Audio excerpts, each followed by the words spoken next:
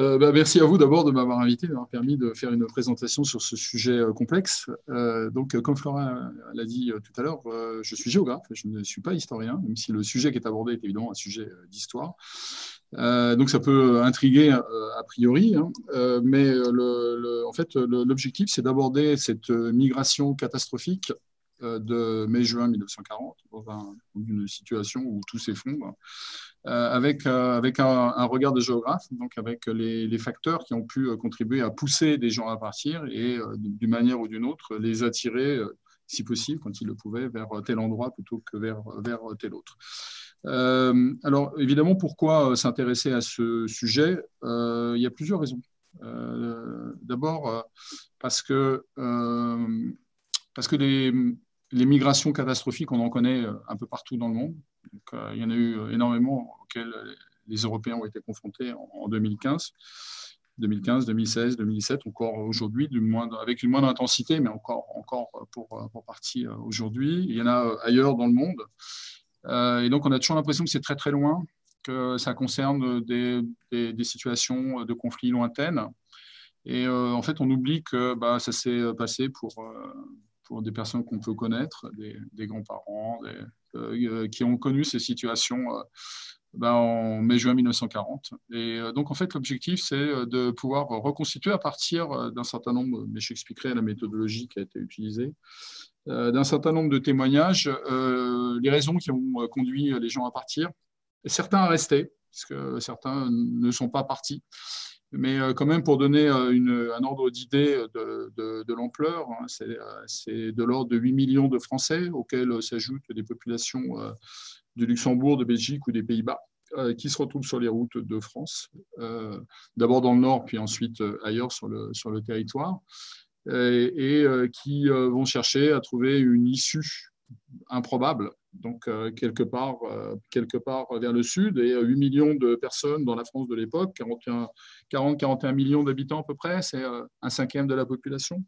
Donc c'est un phénomène absolument considérable et sur un laps de temps extrêmement court. Et alors la, raison aussi, c'est parce que bah, c'est 80 ans après, et il y a encore une mémoire vive de ces, de ces questions-là, d'où l'intérêt de pouvoir aborder, comprendre euh, ce, phénomène migratoire absolument catastrophique. Alors, l'autre aspect, euh, il y a des historiens qui ont travaillé euh, à partir de leur méthode et à partir de, sources nombreuses sur ces, sur ces questions-là. mais en fait, il n'y en a pas eu tant que ça. alors, il y a un précurseur, qui s'appelle Jean Vidalin, qui en 1957, hein, c'est le, premier qui a abordé cette question à partir des documents qu'il avait pu mobiliser. Euh, où étaient les réfugiés, où s'étaient-ils installés pendant un certain temps, quelles étaient les conditions qui avaient pu permettre leur retour. 1957, euh, euh, donc je dirais un peu plus à chaud, évidemment, pas très, pas très longtemps après, après le, phénomène. et ensuite, il y a eu Pierre Miquel, 2003. Et autres, il n'y a pas eu énormément. ponctuellement, il y a eu quelques travaux qui ont été, qui ont été réalisés, mais pas, pas énormément. Et puis, depuis le début des années 2000, il y a des historiens qui s'intéressent. Entre autres, Eric Allary, hein, qui s'est beaucoup intéressé, qui a fait un, ouvrage. j'ai mis 2013 parce que c'est, euh, c'est, en fait, c'est un ouvrage chez 2010 et après, il a, il a augmenté, il a rajouté un certain nombre euh, d'éléments, donc en 2013. Donc, c'est vraiment lui qui est un peu celui qui a euh, contribué le plus à analyser avec des archives, avec des archives d'historiens. Qui s'étaient ouvertes euh, ici ou là, auxquelles on pouvait avoir accès. Euh, des fois, ça pouvait être la Croix-Rouge, des fois, ça pouvait être, euh, ça pouvait être les, archives présentes dans des, dans des départements ou des fois dans des communes pour pouvoir alimenter les réflexions sur cette question-là. Et alors, ce qui est assez intéressant dans les propos qui sont tenus par l'un et par l'autre, et je m'inscrirai de manière en continuité par rapport, par rapport à eux, ce que disait Pierre Miquel, c'est que les victimes d'Exode n'ont pas bonne presse. Donc, euh, on trouvait que c'était des fuyards, des paniqués, des points morts, etc. Euh, alors qu'en fait, ils étaient des victimes civiles, euh, d'abord victimes civiles d'un conflit absolument terrifiant. Euh, Eric Allary a repris, et donc lui, il voulait leur rendre, d'une certaine manière, il voulait leur, leur, leur rendre hommage. Son livre, il l'explique de manière très, très, très explicite. Et, et Eric Allary a aussi abordé cette question-là en disant que c'est un sujet tabou. Ça avait longtemps été un sujet tabou, un peu honteux, entre guillemets, et qu'on avait mis de côté, qu'on avait préféré ne pas aborder parce que d'autres sujets étaient considérés peut-être comme plus importants. Mais ça, c'est des débats plutôt au sein de la discipline histoire. Euh, donc plus de l'histoire politique. Et là, évidemment, je ne prendrai pas position par rapport, par rapport à ces questions-là. Euh, donc, euh, je dirais que moi, j'aborde plutôt le sujet migration avec une approche, une approche géographie de la migration et sur une migration pas actuelle, mais ancienne. Donc, d'où évidemment l'intérêt d'aborder ces questions-là. Alors, je positionne mon, intervention donc plutôt avec, sous un angle de géographie sociale. Alors, quel positionnement, quelle méthode? J'explicite un petit peu et quelles hypothèses aussi. Euh, alors d'abord, les objectifs, comprendre les raisons du départ ou du non-départ en exode, les tactiques développées. Alors on a souvent euh, le, je dirais qu'on a souvent l'impression quand on voit des images, euh, il y en a eu pas mal parce qu'il y, a eu en, en, 2020, alors pareil, considérant que c'est un événement qui avait été important, qui, avait euh, marqué une génération. Euh, il y, a, eu des expositions, il y a une exposition importante au Musée de la Libération sur euh, l'exode des Parisiens, très bien faite, très voilà, pilotée par une, historienne qui s'appelle Anna Diamond, donc, qui a fait un travail extrêmement important. donc il y, a, des choses hein, qui, cette année, il y a eu des reportages à la télé, il y a eu, beaucoup, il y a des images d'archives qui ont été, utilisées, mais on a souvent l'impression euh, que c'est une sorte de, flux, voilà, un peu euh, au hasard, des gens qui, partent un peu au hasard. Et euh, moi, en fait, ce que j'ai essayé de, mon objectif initial, donc, c'était de comprendre comment ça avait pu se décider, de partir, pas partir. Donc, est-ce qu'on était capable de reconstruire un peu ces, ces, débats qui avaient pu avoir lieu au sein des, familles, et donc de savoir pourquoi ils partaient, pourquoi ils partaient pas, et si oui, euh, sur quel type de réseau ils s'appuient. Donc, euh, quand on travaille sur l'immigration, on s'intéresse, euh, on utilise des, un certain nombre de concepts, hein, comme le concept de capital spatial, comme le concept d'horizon migratoire, pour essayer de, comprendre comment les gens s'organisent, comment ils se projettent, en fait, et pas simplement sur, sur, du, sur du hasard. Euh, donc, alors on va voir que dans certains cas, c'est du hasard, mais dans d'autres cas, c'était plus construit. Donc, euh, même si la situation était totalement euh, déstabilisante et d'une extrême complexité et avec une extrême urgence. ensuite, la méthode. Alors, la méthode, bah, je suis parti d'entretien. Donc, comme je l'indiquerai tout à l'heure, des entretiens qui ont été réalisés auprès de personnes qui avaient vécu ça, qui étaient jeunes, bien entendu. Certains étaient un peu plus âgés, certains avaient une vingtaine d'années, d'autres avaient 4-5 ans. Euh, certains avaient des souvenirs qui étaient extrêmement précis. Alors, il y avait un guide d'entretien, évidemment, je ne vais pas vous présenter ici, mais bon, qui est dans l'ouvrage qui, qui, va sortir, encore sorti, sort dans 10 jours. Euh, donc, un, guide d'entretien euh, avec un certain nombre d'éléments. Donc, il s'agissait d'abord de, distinguer le profil de la famille, pour essayer de comprendre un petit peu quel était son profil social, son réseau. Donc, est-ce qu'il y avait un réseau familial de proximité plus lointain sur lequel il pouvait s'appuyer pour, pour pour pouvoir repartir de manière un peu plus sûre voilà, et peut-être un peu plus anticipée. Euh, dans le cas où ces personnes étaient beaucoup plus jeunes, euh, souvent c'était des souvenirs, des bribes de souvenirs, mais après pour partir reconstruit, mais qui permettaient aussi euh, de comprendre la manière dont les, dont les parents avaient décidé, donc de, de, ça avait pu s'organiser. Euh, ensuite, bien entendu, il y a eu un croisement d'informations et des sources historiques solides. Hein. Bon, euh, par exemple, il y a un exemple que j'aurai l'occasion de citer. On utilise souvent, euh, il y a beaucoup de, de, de mes enquêtés qui font référence à des avions italiens. C'est vrai que ce n'était pas le cas. Euh, et donc, avec un certain nombre d'hypothèses, évidemment, euh, la manière dont les exodes se déroulèrent, euh, bah, ça s'inscrit dans la dépendance de la position sociale, donc ça joue. Vous voyez, donc il y a peut-être un exode plutôt de populations plus aisées d'autres populations plus populaires, donc il peut y avoir cet élément-là. Ils sont peut-être pas partis de la même manière. ensuite, c'est la manière dont ils ont mobilisé. Alors, il y a un terme que je vais utiliser, le terme qui a été inventé, le néologisme par Jean-Pierre Azema, qui est des exodiens. Donc, c'est un terme. On peut parler de réfugiés, d'évacués. Alors, les évacués, c'est ceux qui partent plutôt avant, quand on s'organise un petit peu pendant la drôle de guerre. les réfugiés, bah, c'est euh, les exodiens, c'est tous ceux qui vont euh, partir sur les routes, et euh, les réfugiés, c'est ceux qui ensuite il va falloir faire revenir d'une manière ou d'une autre, ou qui vont revenir, ou qu'il va falloir faire revenir chez eux. Et donc, quand tout s'effondre, comment on s'organise? Il n'y a, plus les structures de l'État, il n'y a plus les municipalités, sur quelques cas, généralement n'aident pas, ne peuvent pas aider. Et, sur quel type d'appui, quels sont les recours, quels sont les appuis auxquels vont faire sur, lesquels bah, les personnes vont pouvoir s'appuyer pour pouvoir faire face. Euh, ensuite, le point de départ euh, de l'exode a dû avoir une importance, c'est une autre hypothèse. C'est pas la même chose de partir d'Arras, bombarder très vite, et partir. J'ai mis Amiens, j'ai mis Le Mans, mais euh, j'aurais pu, pu en trouver d'autres. Donc, il y a des villes qui ont été plus directement affectées par la situation militaire et d'autres moins. Et euh, le dernier point, c'est compte tenu de la puissance des traumatismes vécus par des enfants et des adolescents, ceci a dû laisser des traces profondes. Et donc, euh, ça, aussi, ça peut faire écho à des situations qui sont des situations actuelles. Euh, donc voilà un petit diagramme en bâton présentant bah, les personnes que j'ai euh, que j'ai euh, que j'ai pu enquêter. Donc vous voyez, il y en avait 1940, donc euh, la personne était dans un berceau, et en 1914, la personne avait 26 ans. Donc il y a donc il y avait des très jeunes enfants, des enfants, des adolescents, des jeunes adultes. Bon, évidemment, ils n'ont pas les mêmes témoignages. A, il n'y a pas la même fiabilité qu'on peut donner aux témoignages. Le témoignage direct, solide, très fiable. Il y a des gens qui ont fait des faire des témoignages qui étaient extrêmement précis, reconstituons tout en détail. Euh, d'autres, c'était un peu plus flou, mais euh, il n'empêche que c'est toujours une information qui est importante que l'on peut utiliser euh, pour pouvoir chercher à reconstruire la manière dont les choses ont pu se dérouler. si on parle de l'Exode, il est évident qu'il faut faire un minimum de retour sur la situation militaire. Donc j'ai fait une petite frise ici que je ne vais pas détailler en, de manière euh, précise, juste donner quelques, quelques points. Donc évidemment, la situation, le basculement dans la guerre, euh, ben, c'est lié au, pacte germano-soviétique du 23 août 1939. La guerre se déclenche très rapidement avec l'invasion de la Pologne et l'entrée en guerre de la France et du Royaume-Uni. les autorités ont prévu des choses.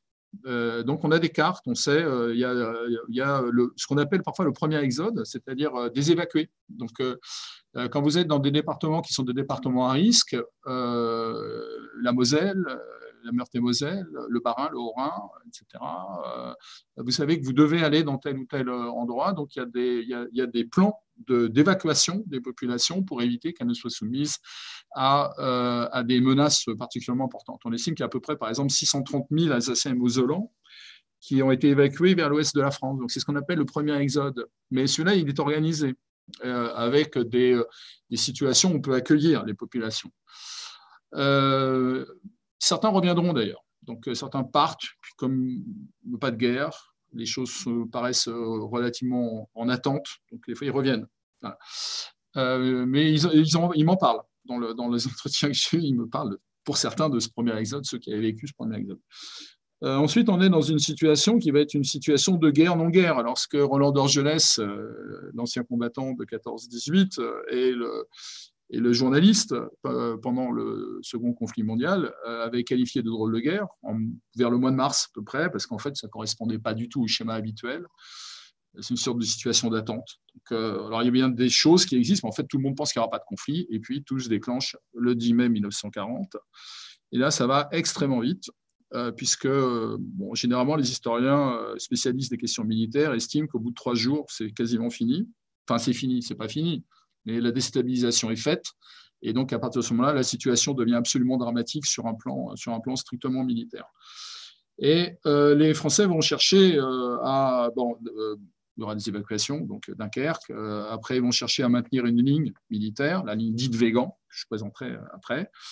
mais on peut considérer qu'on va commencer à avoir, donc j'ai un petit zoom sur cette, sur cette période-là, on va commencer à avoir les premiers exodiens qui vont conduire la situation euh, militaire, qui vont d'abord être plutôt des Belges et des Néerlandais et des Luxembourgeois, puisqu'il y a une zone de combat par là-bas, euh, et ensuite des départs des populations du nord et de l'est. Alors bon, c'est un peu simplifié, hein, évidemment, euh, je n'ai pas été en capacité de reconstruire, si vous voulez, une sorte de flux euh, très précis. C'est peut-être possible à obtenir. Euh, on sait qu'à un moment, vers le 10 juin, il y a à peu près 2 millions de Parisiens qui vont quitter Paris, soit les deux tiers de la ville. Voilà. Mais c'est un peu plus tard. Et donc, il va y avoir une première, une première situation, donc on va dire une sorte de première vague d'exode, pendant laquelle les populations qui sont directement confrontées partent sur les routes. Et donc, on a des témoignages, on a des photos, pas énormément, mais il y a des photos qui montrent ces situations. Euh, et euh, donc, on va dire qu'on a, on enclenche une sorte de spirale euh, de l'exode qui va d'ailleurs contribuer à alimenter une forme de panique des populations, puisque ceux qui sont partis témoignent. On voit arriver à Paris des populations qui viennent de Bruxelles, qui viennent du Luxembourg. Donc, ça contribue à alimenter une sorte de, schéma de, de déstabilisation. Donc c'est juste pour rappeler un petit peu cette situation euh, avec quelques points de, de repère. Alors il y en a euh, quelques-uns peut-être hein, euh, qui sont en relation. donc il y a des villes bombardées. Rouen, par exemple, j'ai mis 9 juin. il y a des villes qui vont être très rapidement, c'est pour ça que j'évoquais Arras tout à l'heure, parce qu'elles vont être très rapidement sous la menace, le 21 mai, Arras. Euh, le 9 juin, euh, Rouen, euh, et la déstabilisation militaire débouche sur une déstabilisation politique. Le gouvernement français quitte Paris le 10 juin, l'Italie entre en guerre le 10 juin, etc. Donc c'est six semaines, ça dure six semaines, mais on considère généralement qu'au bout de voilà, une dizaine de jours, même peut-être moins, la, situation est intenable sur le plan politique. Alors cartographiquement, ça va donner ça. alors il y a un plan allemand, bon, je ne sais pas pas vraiment le sujet, mais juste quand même un titre de rappel. Donc, une offensive en Belgique, euh, attirer les meilleures troupes françaises euh, et britanniques en Belgique, euh, faire des opérations de diversion sur Imagino et ensuite attaquer un point faible qui avait été identifié comme un point faible, mais qui n'avait pas été pris en compte par l'état-major. Voilà. Bon, c'est un autre sujet. Et on va avoir donc dans cette situation une avancée très rapide, et donc les populations qui sont ici vont se retrouver directement concernées par la menace et vont commencer à partir. Et donc, c'est euh, dans ce contexte-là qu'entre le 10 et le 20 mai, très rapidement, hein, euh, la Belgique tombe très rapidement, les Pays-Bas tombent très rapidement, ces populations cherchent à fuir, dans ce qu'il est encore, enfin, tant qu'il est encore possible de fuir. Donc, euh, alors ça veut dire, et vers le sud, bien entendu, et donc plutôt vers Paris, en estimant que c'est un endroit de salut compte tenu de tous les, schémas qu'on pouvait avoir à l'époque hein, par rapport à la solidité entre de l'armée de l'armée française. Euh, donc il y a des traces de ça, on voit des réfugiés sur les routes, et donc la situation ici n'est pas encore euh, complètement, c'est pas la situation, c'est des, images militaires. Donc euh, le, service des armées dispose d'un certain nombre d'archives. Donc ça c'est le 15 mai, c'est le début. Donc, donc il y a déjà ces phénomènes de, réfugiés. Alors il y a juste une chose sur laquelle je voudrais un petit peu insister, mais on a l'occasion d'y revenir peut-être par la suite. Euh, c'est vrai que compte tenu de l'intensité du phénomène, on a souvent l'impression que c'est les grandes villes, donc Paris entre autres, hein, parce que évidemment c'est très important, mais c'est extrêmement général. C'est-à-dire euh, il y a des tas de petits villages euh, qui sont dans le nord, des tas de petits villages qui sont dans l'est, des tas de petits villages qui sont même dans des communes qui sont plus loin vers le sud, d'où les gens partent. Donc le phénomène, il est extrêmement massif, même s'il est d'une intensité encore plus importante dans la capitale, hein, puisque là, c'est un flux euh, considérable qui va, qui va apparaître.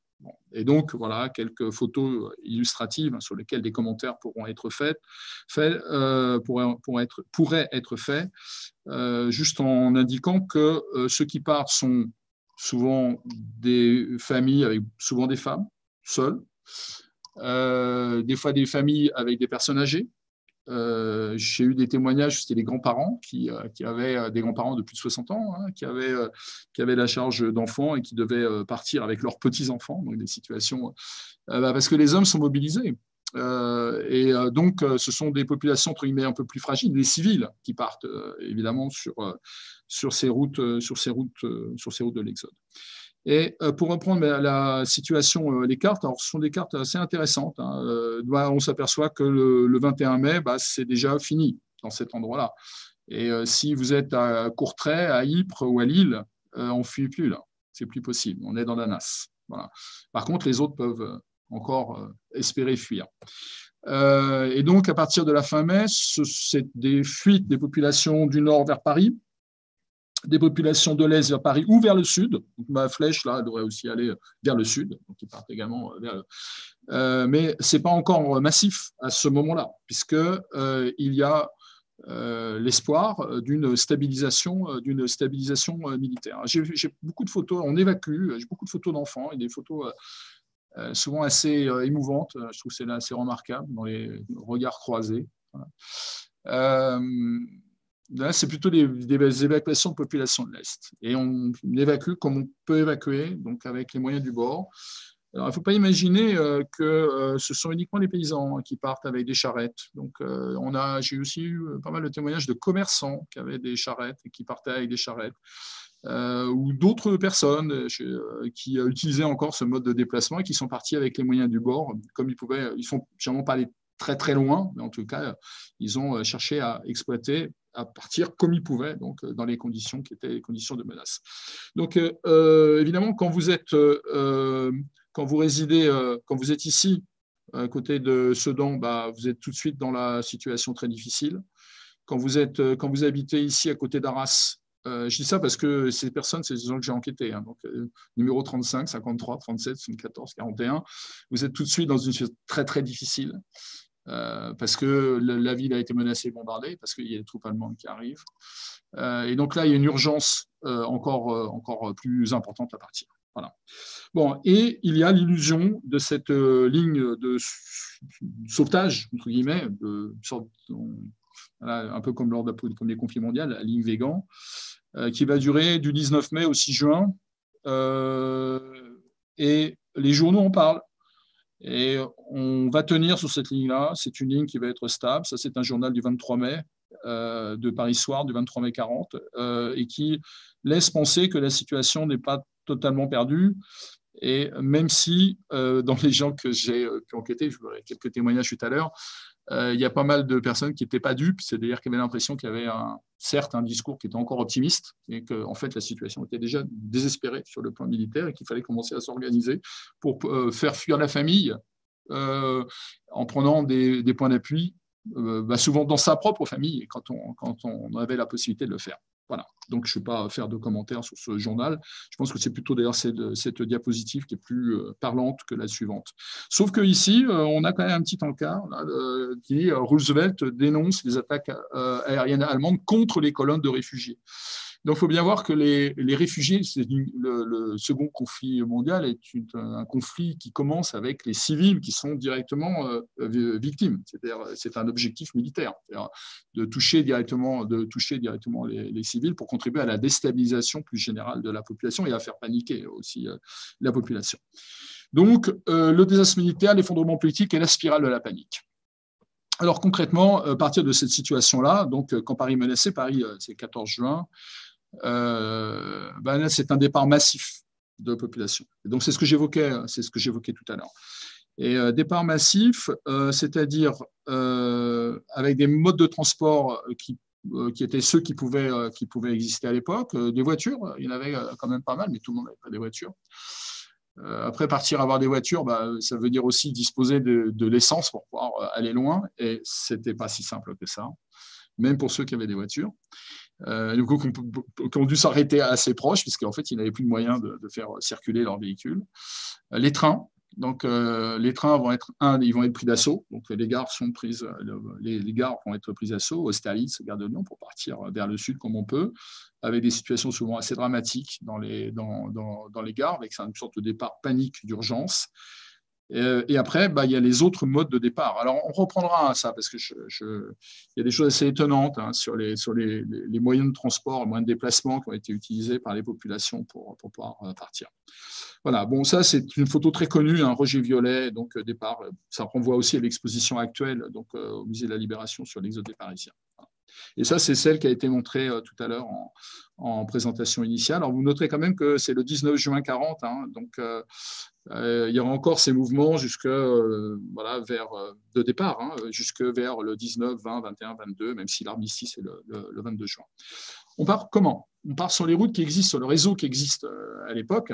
Donc, alors, on a des, et j'en ai utilisé pas mal d'ailleurs, des, des, cartes, alors je dirais pas des cartes très anciennes, mais des cartes des années 30, euh, c'est assez intéressant pour pouvoir euh, se euh, reconfigurer un petit peu quelles étaient les, les, représentations qu'on pouvait avoir. donc évidemment, j'ai reconstitué des, itinéraires de l'Exode, je n'avais pas, pas reconstitué des itinéraires de l'Exode à partir de, cartes où on voyait les autoroutes actuelles. Ça n'est pas la guerre de sens, donc il faut, faut récupérer la cartographie qui était la cartographie de l'époque. Euh, alors, pour ceux que ça intéresserait, bah, c'est disponible sur BNF Gallica, c'est en accès libre. Donc, on peut récupérer tous ces, éléments qui permettent un peu de se reconstituer aussi, euh, peut-être un univers mental de l'époque. Voilà. Et donc, pour finir, le 14 juin, prise de Paris. Donc là, la débat est absolument total. Voilà. il n'y a plus d'issue militaire possible. Et là, c'est tout le monde parle. Euh, donc mi-juin. Donc les foyers de migration, évidemment pas dans le sud-ouest. Hein. Donc euh, dans le sud-est, il y a un peu. Il y a, des, gens qui partent aussi du sud-est, qui est une menace italienne dans le sud-est.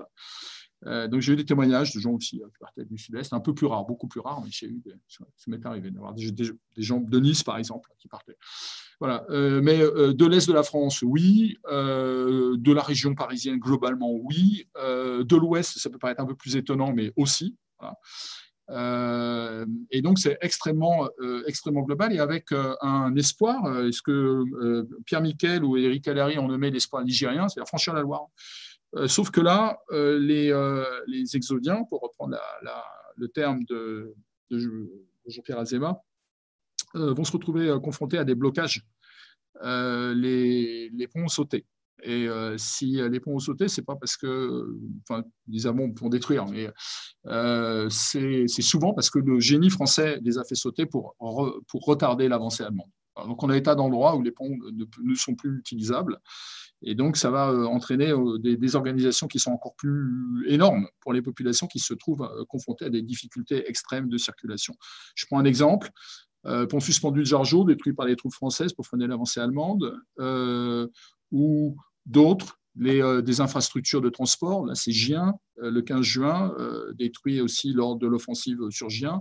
C'est-à-dire, plus rien n'est absolument solide. C'est-à-dire, outre le fait qu'il y a effondrement militaire, qu'il y a effondrement politique, le, gouvernement français est également exodien, parce qu'à partir du 10 juin, il est sur les routes, il tourne Bordeaux, donc il, fait partie des, il fait partie des exodiens.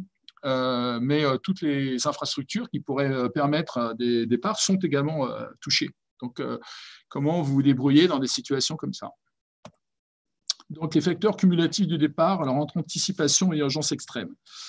Alors, qu'est-ce qui conduit à partir?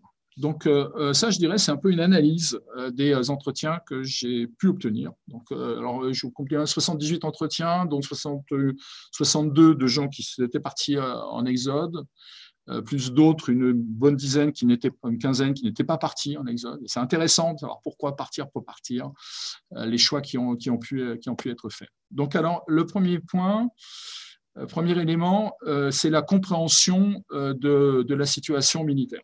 Et donc là, j'ai un, enfin, un témoignage, j'aurais pu en trouver d'autres. Hein. donc, un exemple. Hein. on a l'impression que c'est foutu. donc, la dame se rappelait très bien la date du départ, le 6 juin. Euh, et donc, en fait, son père a l'impression que la situation, il comprend la situation militaire. En fait, c'est comme s'il n'était pas. Euh.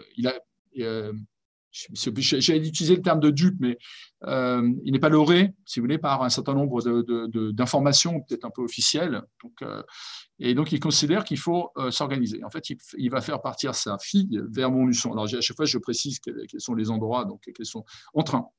Et donc, à ce moment-là, il peut encore s'organiser pour pouvoir partir en train. Et donc, le, refuge, euh, ça va être un point, un point d'appui familial. Alors, en fait, si vous voulez, après, j'aurais essayé de le synthétiser un peu.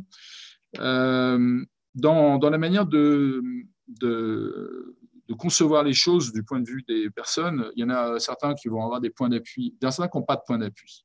Donc, ils n'ont aucun. Et donc là, dans cette situation-là, ça va devenir très catastrophique. Il peut y avoir des amis éventuels, hein, des, gens du quartier, donc, euh, qui peuvent éventuellement apporter une aide. Des fois, ils partiront avec des gens du quartier. Euh, mais euh, certains ont des appuis proches. Ils sont à Paris, ils ont des appuis dans un peu au sud de l'agglomération parisienne, vont s'appuyer sur eux. D'autres ont de la famille beaucoup plus loin, des, souvent des grands-parents dans le sud-ouest ou, ou dans le sud-est. Et donc là, ils vont évacuer les, leur, euh, leur, de manière préventive, en fait. Hein, donc, ils vont évacuer leurs enfants d'abord, hein, donc dans ces, dans ces endroits, quand ils peuvent le faire. Et donc, ben là, on a un cas. Voilà. Ce n'est pas un cas euh, unique, hein. il y a d'autres cas qui, euh, qui, réfèrent à ça. Et donc, une compréhension un peu de lire derrière ce qu'on dit, et donc il faut anticiper. Et ça va très vite, c'est pas on a deux mois pour réagir, on a quelques jours, et encore. Des fois, c'est même quelques heures. Les rumeurs. Donc euh, ça, c'est un phénomène amplificateur absolument considérable. C'est-à-dire tous les bruits qui circulent. Alors les bruits qui circulent sont, euh, j'en ai pas mis là, mais sur les exactions allemandes, il y en a énormément. on coupe les mains aux enfants, on coupe les, seins aux femmes. Il y a énormément de personnes. On donne et on distribue des bonbons empoisonnés aux enfants, donc qui, qui se remémoraient encore ce genre de choses. et donc, on dit que tout, que les grandes villes vont être bombardées, il y a eu des bombardements sur Paris, que Paris va être bombardé. Et donc, bah, il, faut, partir. Et alors, ce qui est intéressant dans ce témoignage, j'en ai eu pas mal des comme ça, c'est qu'il y a eu des discussions, c'est-à-dire euh, entre ceux qui veulent partir, ceux qui disent euh, mais on, on, reste, c'est pas la peine. par exemple, le grand-père qui a fait Verdun, il dit on, ne s'avole pas, on reste. Et finalement, euh, compte tenu de, la situation de, des rumeurs, de ce qu'on entendait à la radio, de ce que disaient les, les, premiers réfugiés, il faut partir. Et donc, il décide de partir. Donc, euh, on est dans une situation, si vous voulez, de, voilà, de, de, crainte cumulative. Donc, il y a des choses qui sont objectives, euh, réelles, observées. Il y a des choses qui sont interprétées. Et après, il y a aussi euh, toute, les, toute cette spirale en fait, de, la panique qui se met en place. ensuite, venant aggraver tout ça, évidemment, il y a les effets des premiers bombardements. Donc, à partir du moment où la ville est directement menacée, où le lieu Arras, dont je parlais tout à l'heure, ou Amiens, ou Abbeville, voilà, quelqu'un qui était parti d'Abbeville, la personne qui est partie à la ville, la ville a été euh, bombardée très vite. Voilà. Donc euh, les menaces, elles étaient immédiates sur cette, euh, sur cette ville-là. Il y en a eu sur Paris. Bon, et donc là, on a un exemple de bombardement sur, sur Paris. donc, eh ben, la famille décide, dans cette, dans cette situation-là, c'était proche, sur la banlieue parisienne, c'est pas Paris la ville, c'était la banlieue parisienne, ils décident de partir. Ils ont un point d'appui, ils ils ils décident de partir. Donc évidemment, euh, ça, a un effet là euh, euh, paniquant pour les, populations. Ensuite, il y a l'effet amplificateur du départ des voisins. Alors ça pourrait faire écho à ce qui avait été dit tout à l'heure sur, sur les rumeurs, mais c'est de voir les gens partir. C'est-à-dire, euh, gens disent, bah, attendez, voilà, on se retrouve tout seul dans le quartier, tout le monde est parti, et donc on, on part également. certains peuvent, il y a des entraides donc euh, euh, peuvent, euh, peuvent trouver appui sur, je sais pas, quelqu'un qui a un camion, un épicier, il a un camion, il part pas qu'avec sa famille, il va partir des fois avec les voisins. Donc il y a des exemples aussi de, de ce, de ce type-là. mais la manière dont les, les, quartiers, les villages se vident, ça va faire que tout le monde part. Et donc, on n'est plus dans la rumeur, là, on est dans l'effet amplificateur des, des départs des, des, personnes du voisinage. Et donc, euh, il y a eu des situations absolument euh, incroyables, je un exemple hein, un peu renvoyant un petit peu à cet effet amplificateur du départ des voisins.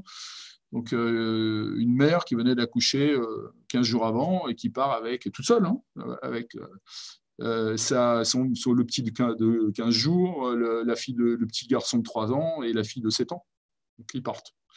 Et pourquoi? Bah, Parce que tout le quartier est parti. Donc euh, là, c'était à Meudon. Donc euh, ils, sont, euh, ils, sont, ils sont partis de Meudon. Alors, ils ne sont pas partis exactement sur les routes, ça a été un peu légèrement différent, mais bon, c'est une situation qui renvoie à ça. ensuite, l'approche de la Wehrmacht. Et donc, quand vous êtes dans un village, alors ça, c'est par exemple des villages. C'est pour ça que c'est pas. On a souvent, je, répète ce que évoqué tout à l'heure, on a souvent l'impression que c'est le phénomène urbain, alors qu'en fait, partout. Donc, dans le village arrive la, on dit que, et donc on va partir dans aussi une très grande, une très grande urgence. Donc, euh, euh, alors sans aller très loin, hein, parce que ceux qui partaient dans ces situations-là, euh, généralement ne, vont pas aller très très loin. Alors maintenant, il y a des raisons du non-départ. Donc, évidemment, il y a beaucoup de témoignages qui renvoient à tout ce que j'évoquais. Là, j'ai juste listé un petit peu quels étaient les facteurs cumulatifs. Alors maintenant, il y, a, il y a beaucoup, il y a quelques raisons, quelques raisons du non-départ. il y a des gens qui sont astreints professionnellement la personne que j'ai trouvée, c'était en Belgique, c'était à Bruxelles, qui était astreinte professionnellement, et la personne n'est pas partie. Euh, dans le contexte français, j'en ai pas eu, mais il doit y en avoir. Donc, euh, des gens qui avaient des. Alors, je suis des gens aussi, j'avais quelqu'un qui travaillait, à, qui travaillait à la SNCF qui avait dû rester très, très, euh, très, très longtemps pour regarder un tunnel. Et donc, il a pu partir qu'à partir du moment où il a eu reçu l'ordre, enfin, l'autorisation de pouvoir partir. Mais sinon, il était, de manière astreint euh, sur le plan professionnel, il respectait cette astreinte, cette astreinte professionnelle. Euh, maintenant, euh, par rapport à ça, il y en a d'autres pour lesquels on pourrait dire éventuellement contraintes professionnelles, les agriculteurs, mais j'ai des agriculteurs qui sont partis. Alors, ce qu'on observe, c'est que souvent, ils partent pas très loin avec l'idée de revenir dans pas très longtemps. Donc, et c'est souvent ce que j'ai observé. ils partent souvent en charrette, assez rarement à pied, et ils vont se retrouver à une dizaine, quinzaine, trentaine de kilomètres de leur ferme.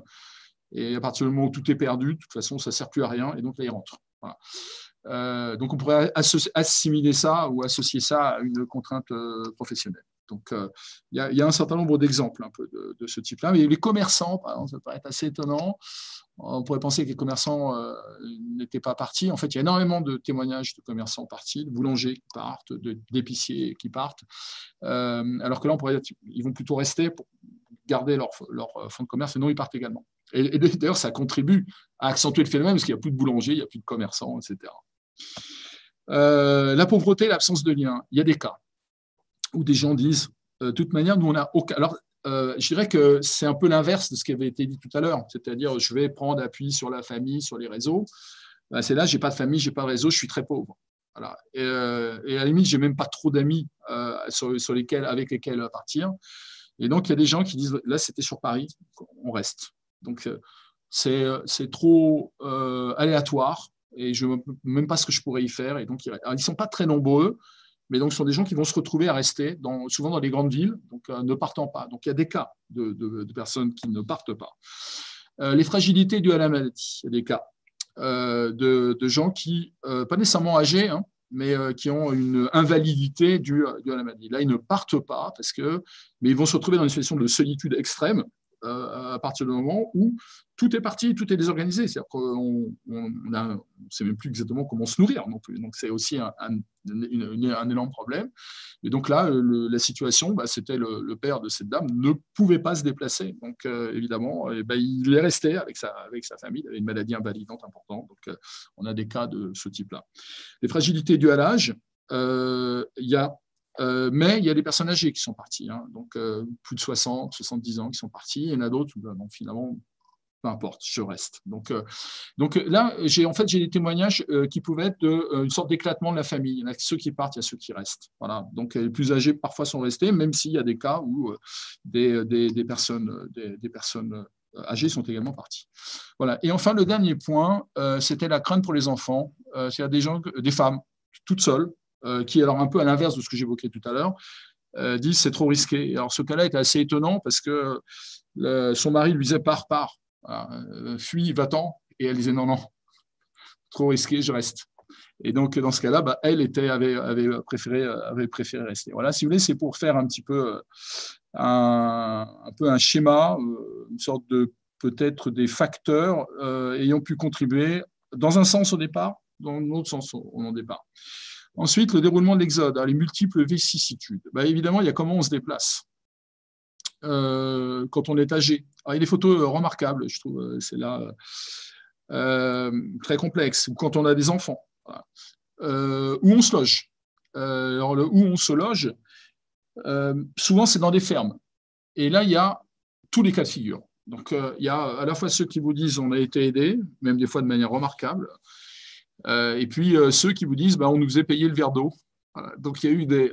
Je dirais qu'on est. Euh, je pense que. il faudrait pouvoir faire une étude statistique, mais ça serait difficile. Là, on ne peut pas. Voilà.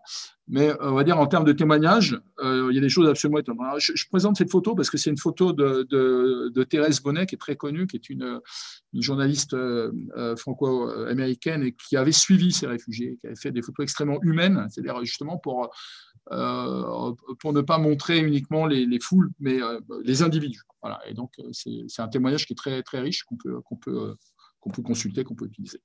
Comment se nourrir? Est-ce qu'il y a, des, est-ce qu'il y a des, de l'organisation? Alors, un peu, mais en fait, très peu. C'est-à-dire, si on prend le début, oui, un peu, à partir du moment où tout n'est pas déstabilisé. quand on prend à partir du moment où euh, je dirais, le début du mois de juin, il n'y a plus rien. Et donc là, euh, on se retrouve dans une situation de désorganisation absolument extrême, euh, où le, le fait de, de se nourrir présente d'énormes problèmes. Alors, les, villes qui vont réussir à accueillir un petit peu, il y en aura quand on sera dans l'extrême sud ou dans le sud-ouest ou dans une partie de l'ouest, ça va réussir à s'organiser un petit peu. mais avec une sorte de, bricolage, puisqu'il n'y a, a, pas de structure étatique. Donc, euh, Euh, c'est ça qui est absolument incroyable hein, dans, la, dans, la partie, euh, dans, la partie Exode. Hein. c'est euh, cet effondrement militaire, cet effondrement politique et cette désorganisation absolument totale des individus qui se retrouvent laissés à eux-mêmes. Alors à partir de ça, j'ai alors je vais pas vous les montrer tous, hein, parce que j'en ai, juste montré, j'en ai juste mis quelques-uns, mais c'est euh, c'était pour voir un peu jusqu'où ça, jusqu'où ça avait pu euh, aller. Donc, euh, voilà, un exemple. Hein. Donc, d'une, en fait, c'est une reconstitution d'itinéraire. Donc, on a pu faire des reconstitutions d'itinéraire extrêmement précis, donc extrêmement précises. ces reconstitutions, en sachant par où les gens étaient passés, quels étaient les appuis qu'ils avaient pu avoir, quels étaient les événements qu'ils avaient pu, avec un 1, 2, 3, 4, 5. c'est, là, c'est assez étonnant puisque c'est un exode en deux phases, c'est-à-dire la personne bénéficie d'une aide, donc ils, sont, euh, ils partent avec d'autres, donc avec des commerçants, mais qui ne peuvent pas les héberger chez eux à Moret-sur-Loing. Et donc après, ils partent sur les routes. Donc la dame part avec sa fille sur les routes. Ça les mène loin, ça les mène jusqu'à euh, la Ferté-Saint-Aubin, et après ils rentrent à pied. Alors ça, c'est une autre question qu'on va essayer d'aborder aussi un petit peu euh, tout à l'heure, c'est la question du retour. Euh, ben, les retours vont être euh, dans des situations extrêmement diverses. Certains vont être des réfugiés. Donc, il y a un nombre, on, les évalue à peu près. 5,4 hein. millions, disait, disait, le gouvernement de Vichy donc, en début du mois de juillet 40. sauf qu'il y en a beaucoup qui rentrent par eux-mêmes. Cette dame-là, elle n'a pas, pas été réfugiée considérée comme réfugiée. Elle est rentrée par ses propres moyens. Euh, elle est allée loin. Hein. Donc, euh, et alors, euh, ils vont loin, mais généralement, ils butent sur la Wehrmacht. Donc, c'était le cas ici. C'est-à-dire que, c'est ce qu'ils disent souvent, on pensait les partir parce qu'ils étaient derrière et on, fuyait. Et en fait, on les trouve devant. Et, donc, bah, arrivé à ce moment-là, on ne peut plus aller plus loin, ne sert plus rien de fuir. Donc, on s'arrête et on rentre. J'ai un itinéraire qui était alors assez. Alors, je, vais le montrer celui-là parce que euh, d'abord, il est extrêmement complexe. Euh, c'est on va récupérer les enfants du côté de la famille, va récupérer les enfants, euh, fuir avec les enfants, mais d'abord les récupérer. Ils étaient du côté de Deauville.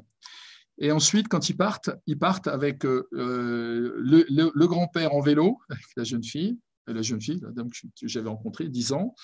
La mère part en voiture et avec le petit frère. Et puis au bout d'un moment, bah, il laisse le petit frère au grand-père. Et puis il y a un bombardement. Et donc, la, situation de bombardement était de, enfin, de mitraillage. Ce n'était pas un bombardement sur l'île, c'était un mitraillage. Et donc, dans cette situation, la famille se retrouve complètement dissociée. Il y a des tas de cas comme ça. Et donc, ils se trouvent complètement dissociés. Il y a ceux qui sont, pas, qui sont devant, ils se retrouvent pas. Et donc, ils vont rentrer chacun de leur côté euh, à leur point de départ. Donc ça, euh, bien voir que c'est un, une situation aussi auxquelles ont été confrontés. Hein. Euh, il y a eu des enfants perdus, il y a eu des familles complètement séparés, les gens ont eu un mal fou ou ne se retrouvent pas d'ailleurs. Euh, donc c'est cette situation de, désorganisation aussi, hein, même s'ils partent ensemble. Hein. Euh, et puis alors c'est là, j'ai montré, ce serait euh, le dernier itinéraire, c'est un départ en vélo. Donc, parmi les, les, moyens de déplacement qui avaient été utilisés, il y a ceux qui partent en train, en voiture, il y a ceux qui partent à pied, et il y en a beaucoup qui partent en vélo. Et le, vélo, qui est un moyen de, déplacement extrêmement populaire hein, euh, à l'époque, il y avait beaucoup de vélos, et il y avait, les gens avaient une habitude d'utiliser les vélos. Euh, et là, bah, c'est les parents en tandem avec la petite fille. Et ils partent jusqu'à euh, de Meudon jusqu'à Nantes un peu, après, jusqu'à Nantes. Et, et là, ils vont dans une famille. Ils ont une famille qui va les accueillir, même si au début, c'est pas là qu'ils voulaient aller. Donc, alors, tout ceci m'a mené. Euh, alors, j'en ai d'autres, hein, mais je pense que j'ai pas le temps. Éventuellement, je, reprendrai d'autres exemples ultérieurs. J'ai des départs en voiture aussi. Euh, voilà. Donc, euh, je ne vais pas tous vous les montrer, c'est peut-être pas la peine. Celui-là, peut-être, un départ en voiture. Donc, vous voyez, un départ en voiture, ça peut paraître simple. Hein. donc, on va dire. on a un moyen de transport, famille un peu plus aisée, donc ils ont un moyen de transport, sauf qu'ils habitent à Abbeville la ville s'est bombardée tout de suite. Ils partent à Saint-Valery-sur-Somme. Et euh, Saint-Valery-sur-Somme, c'est menacé. Et donc, ils vont à Rouen. Rouen, s'est bombardé. Et donc, après, ils continuent. Donc, si vous voulez, c'est un peu ça, c'est euh, cette notion d'horizon migratoire. Et donc, pour euh, certains, j'ai un point d'appui ici, j'ai un point d'appui là, j'ai un point d'appui là, je vais utiliser mes points d'appui. à Ville, c'était des amis. Rouen, c'était de la famille. Grandville, c'était de la famille. Et après, ils finissent en Charente. Et donc, en voiture, alors ça n'a pas été l'exode le plus catastrophique, mais ils ont, euh, ils, ont failli y rester euh, une fois à Ville, une fois à Saint-Valery-sur-Somme, une fois à Rouen. Autrement dit, juste pour indiquer, euh, l'exode paisible, je crois que ça n'a jamais existé. C'est-à-dire, il y a certaines personnes qui disent, bon, moi, finalement, ça a été pas des vacances, mais ça a été relativement tranquille, sauf que les menaces étaient toujours potentiellement existantes. Donc, et certains qui apparemment pouvaient partir d'une manière relativement, entre guillemets, tranquille, ont été confrontés à des, choses terribles sur leur propre, itinéraire. voilà, alors ceci m'amène à euh, une grande question de l'exode, les bombardements italiens. Euh, les entretiens que j'ai eus euh, sont déroulés entre 2016 et 2019, même en 2020, 2016 et 2020, pour vous donner euh, j'ai entendu énormément de fois euh, la référence à des mitraillages ou bombardements, je dirais bombardement sur une ville, mitraillage sur la route, voilà, euh, par des avions italiens. il a été prouvé, alors d'abord l'Italie entre tardivement en guerre, le 10 juin, il a été prouvé que ça ne pouvait quasiment jamais des avions italiens. Alors, euh, pour quelles raisons bah, D'abord parce que l'Italie est tardivement en guerre, et c'est vraiment étonnant. Donc, j'ai mis sur cette carte-là, j'ai euh, reconstitué les endroits qui correspondaient à ceux qui avaient été identifiés par, euh, les personnes. donc, en orange, c'est on dit italien, mais on sait que c'est absolument pas le cas. Ça a été prouvé par des études historiques par la suite. En rouge, c'était où ça avait été des bombardements, des mitraillages par l'aviation, par des Stuka, par l'aviation allemande. Donc là, euh, il n'y a pas de problème. Mais c'est les oranges, si vous voulez, donc le très, très long. Et donc, c'est extrêmement intriguant. il y a quelques fois, deux ou trois fois, où on peut avoir un doute. Alors, une fois, j'ai un militaire. Donc, euh, euh, monsieur était militaire, jeune militaire. Donc, lui, il savait un peu de quoi il parlait et il dit on a abattu un avion italien. Donc, bon, d'accord. Donc, là, probablement que c'était un avion italien. Donc, il y en a eu peut-être quelques-uns. Alors, pourquoi cette Euh, j'ai utilisé le terme de mythe ou illusion, je sais pas. Euh, bon, d'abord parce que souvent les gens disent on a vu des cocardes. Bon, or euh, les italiens n'avaient pas de cocardes. Ils avaient trois faisceaux de licteurs noirs et un cercle blanc, ils n'avaient pas de cocardes. ensuite, parce que l'Italie ne disposait pas d'avions lui permettant d'intervenir à Poitiers. Voilà, ça a été évoqué, ou Montluçon, ça a été évoqué. Ils ne disposait pas de. Euh, ensuite, parce que probablement pour des raisons militaires, la Luftwaffe n'aurait pas permis à des avions italiens d'intervenir de manière autonome. Euh, maintenant, il n'est pas exclu qu'il y ait eu du maquillage. et donc, c'est ce que dit Pierre Miquel. Il prend un exemple, il a un exemple, en Meurthe et Moselle, il dit qu'il y a probablement eu un maquillage d'avion, et donc peut-être que dans ce cas-là, il y a eu un avion italien, ou quelques avions italiens. Donc, mais en tous les cas, euh, massivement, absolument pas. Ponctuellement, c'est possible.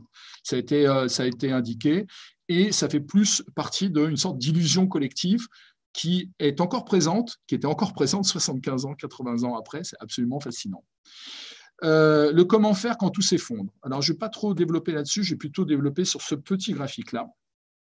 Alors, je me suis, euh, j'ai regardé en fait, là, là, on est un peu dans l'analyse, euh, je dirais, un peu de géographie sociale. Donc, par rapport au, au profil social des, des, populations et à leur mode de déplacement. Bon, alors j'explique quand même deux mots sur le plan méthodologique. Euh, c'est pas simple de reconstituer les profils sociaux des, personnes. Donc, concrètement, je demandais quelles étaient les, les, professions. Voilà. Euh, la profession de la mère, c'était très souvent sans profession, donc c'est bien la profession du père en fait qui était la plus euh, distinctive qui permettait de caractériser en fait la situation de, la, famille. À partir de ça, j'ai croisé avec les modes de déplacement et de voir s'il y avait des surreprésentations, des sous-représentations. Donc dans mes exodiens, euh, dans la partie droite, c'est la structure globale, donc c'est la population. Euh, totale de la population. Donc, on constate que euh, en rouge, bah, ce sont les voitures aux camionnettes. J'en ai à peu près 25, un peu moins de 30% qui sont partis en voiture ou en camionnette. Euh, j'en ai qui sont partis en bus ou en camion. J'en ai, euh, ai de l'ordre de 25-30%, 25% qui sont partis en, qui sont partis en, en, vélo. Euh, non, excuse-moi, le, vélo, c'était le bleu, donc qui sont partis en, train ou autorail, 25%. et j'en ai à peu près 30% qui sont partis à pied. Donc, ça vous donne une structure. Alors, évidemment, ça ne correspond pas à la structure globale de tous les exodiens. C'est par rapport à ma population. Et en fait, ce qui m'intéressait, c'était de regarder des surreprésentations ou des surreprésentations en fonction du profil social.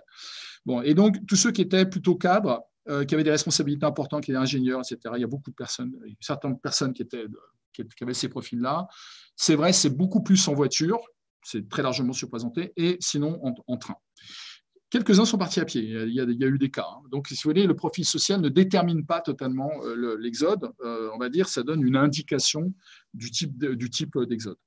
Quand on prend les populations qui étaient ouvriers ou assimilées, c'était beaucoup plus à pied. Donc, il y a bien une dimension position sociale hein, qui, a pu, euh, jouer. C'est évoqué par Eric Calary, c'est évoqué par Pierre Miquel aussi. Hein. Donc évidemment, ce serait étayé de manière euh, plus fiable avec davantage d'entretien, en croisant davantage ces informations. Euh, et pour les autres, les, employés, alors les artisans, commerçants, chefs d'entreprise n'étaient pas très nombreux, donc voilà. Mais ça vous donne un peu une sorte de, un peu de photographie. Alors, le deuxième point, j'ai regardé si la structure familiale euh, avait pu jouer un rôle.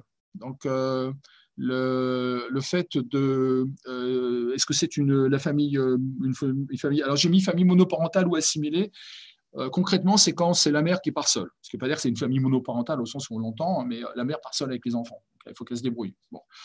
les familles élargies la famille élargie c'est on part avec les cousins les tantes etc Bon, est-ce qu'il y a des écarts? Je dirais un peu moins significatifs donc, euh, que ce que, euh, ce que j'avais vu pour les positions sociales. Voilà. Mais en tout cas, l'idée, c'était de pouvoir un peu creuser euh, ces questions-là.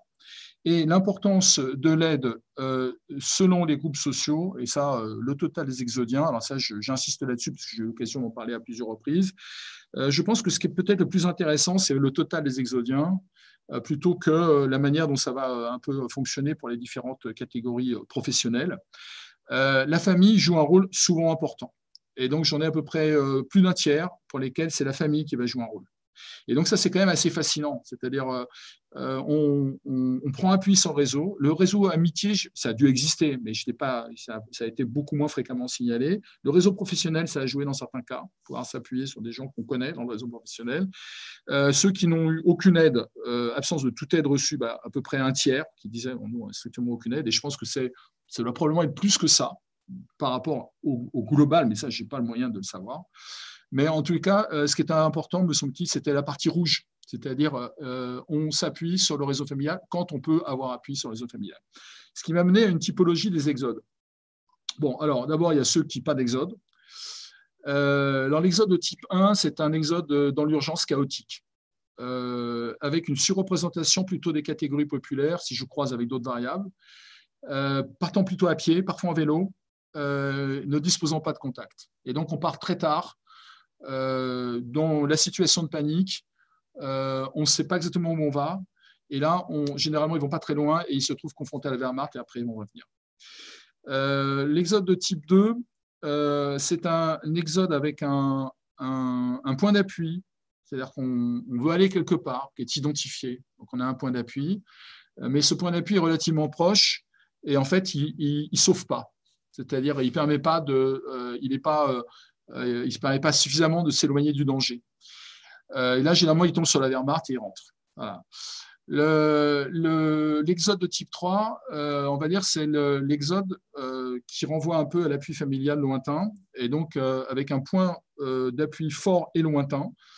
On, a la famille à Guéret, on a de la famille à Montluçon, encore Montluçon c'était moins loin, mais Guéret c'était loin, à Aubenas, j'avais un exemple de ce type-là. Euh, et donc là, on va pouvoir euh, être dans une zone qui va être plus, euh, moins périlleuse à la condition de l'atteindre.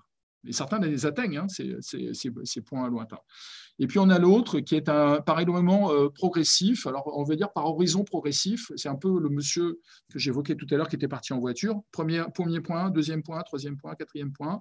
Et en fait, c'est par une sorte de saut de plus en s'éloignant progressivement. Donc il y a eu aussi des exodes de ce type-là. Alors, si je croise euh, avec euh, les catégories et les types d'exode, alors euh, ce petit graphique montre les catégories simplifiées, évidemment, hein, qui mériteraient d'être affinées, mais bah, première ébauche, mais à partir d'informations recueillies récemment. Voilà.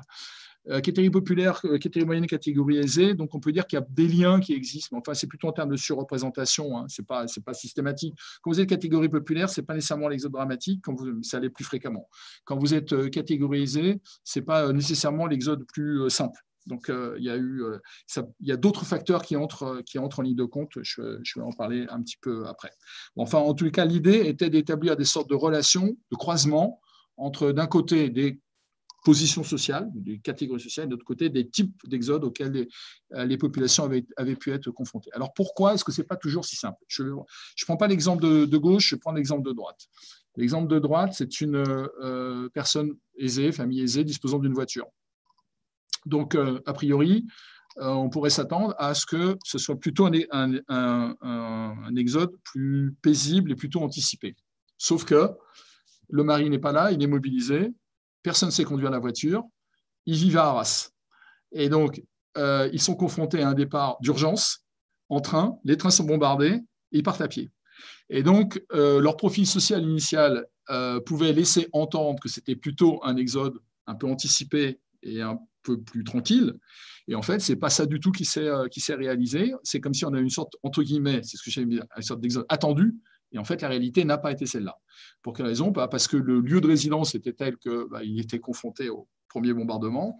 Et euh, dans une sorte d'enchaînement de situations catastrophiques, on ne peut pas partir avec la voiture, la gare est bombardée, on est obligé de partir à pied, il se retrouve sur les routes.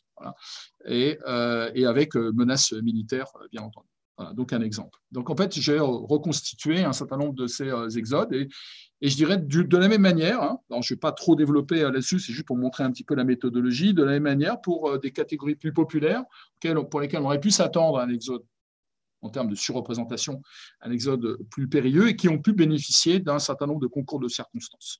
Autrement dit, on est vraiment dans des situations à la fois où il y a des vulnérabilités particulièrement fortes, euh, où les positions sociales jouent, mais aussi on a tout un tas d'autres indicateurs d'incertitude qui entrent en ligne de compte pour, pour rendre euh, parfois plus périlleux ou des fois plus simple un certain nombre d'examens, comme quoi c'est extrêmement euh, complexe.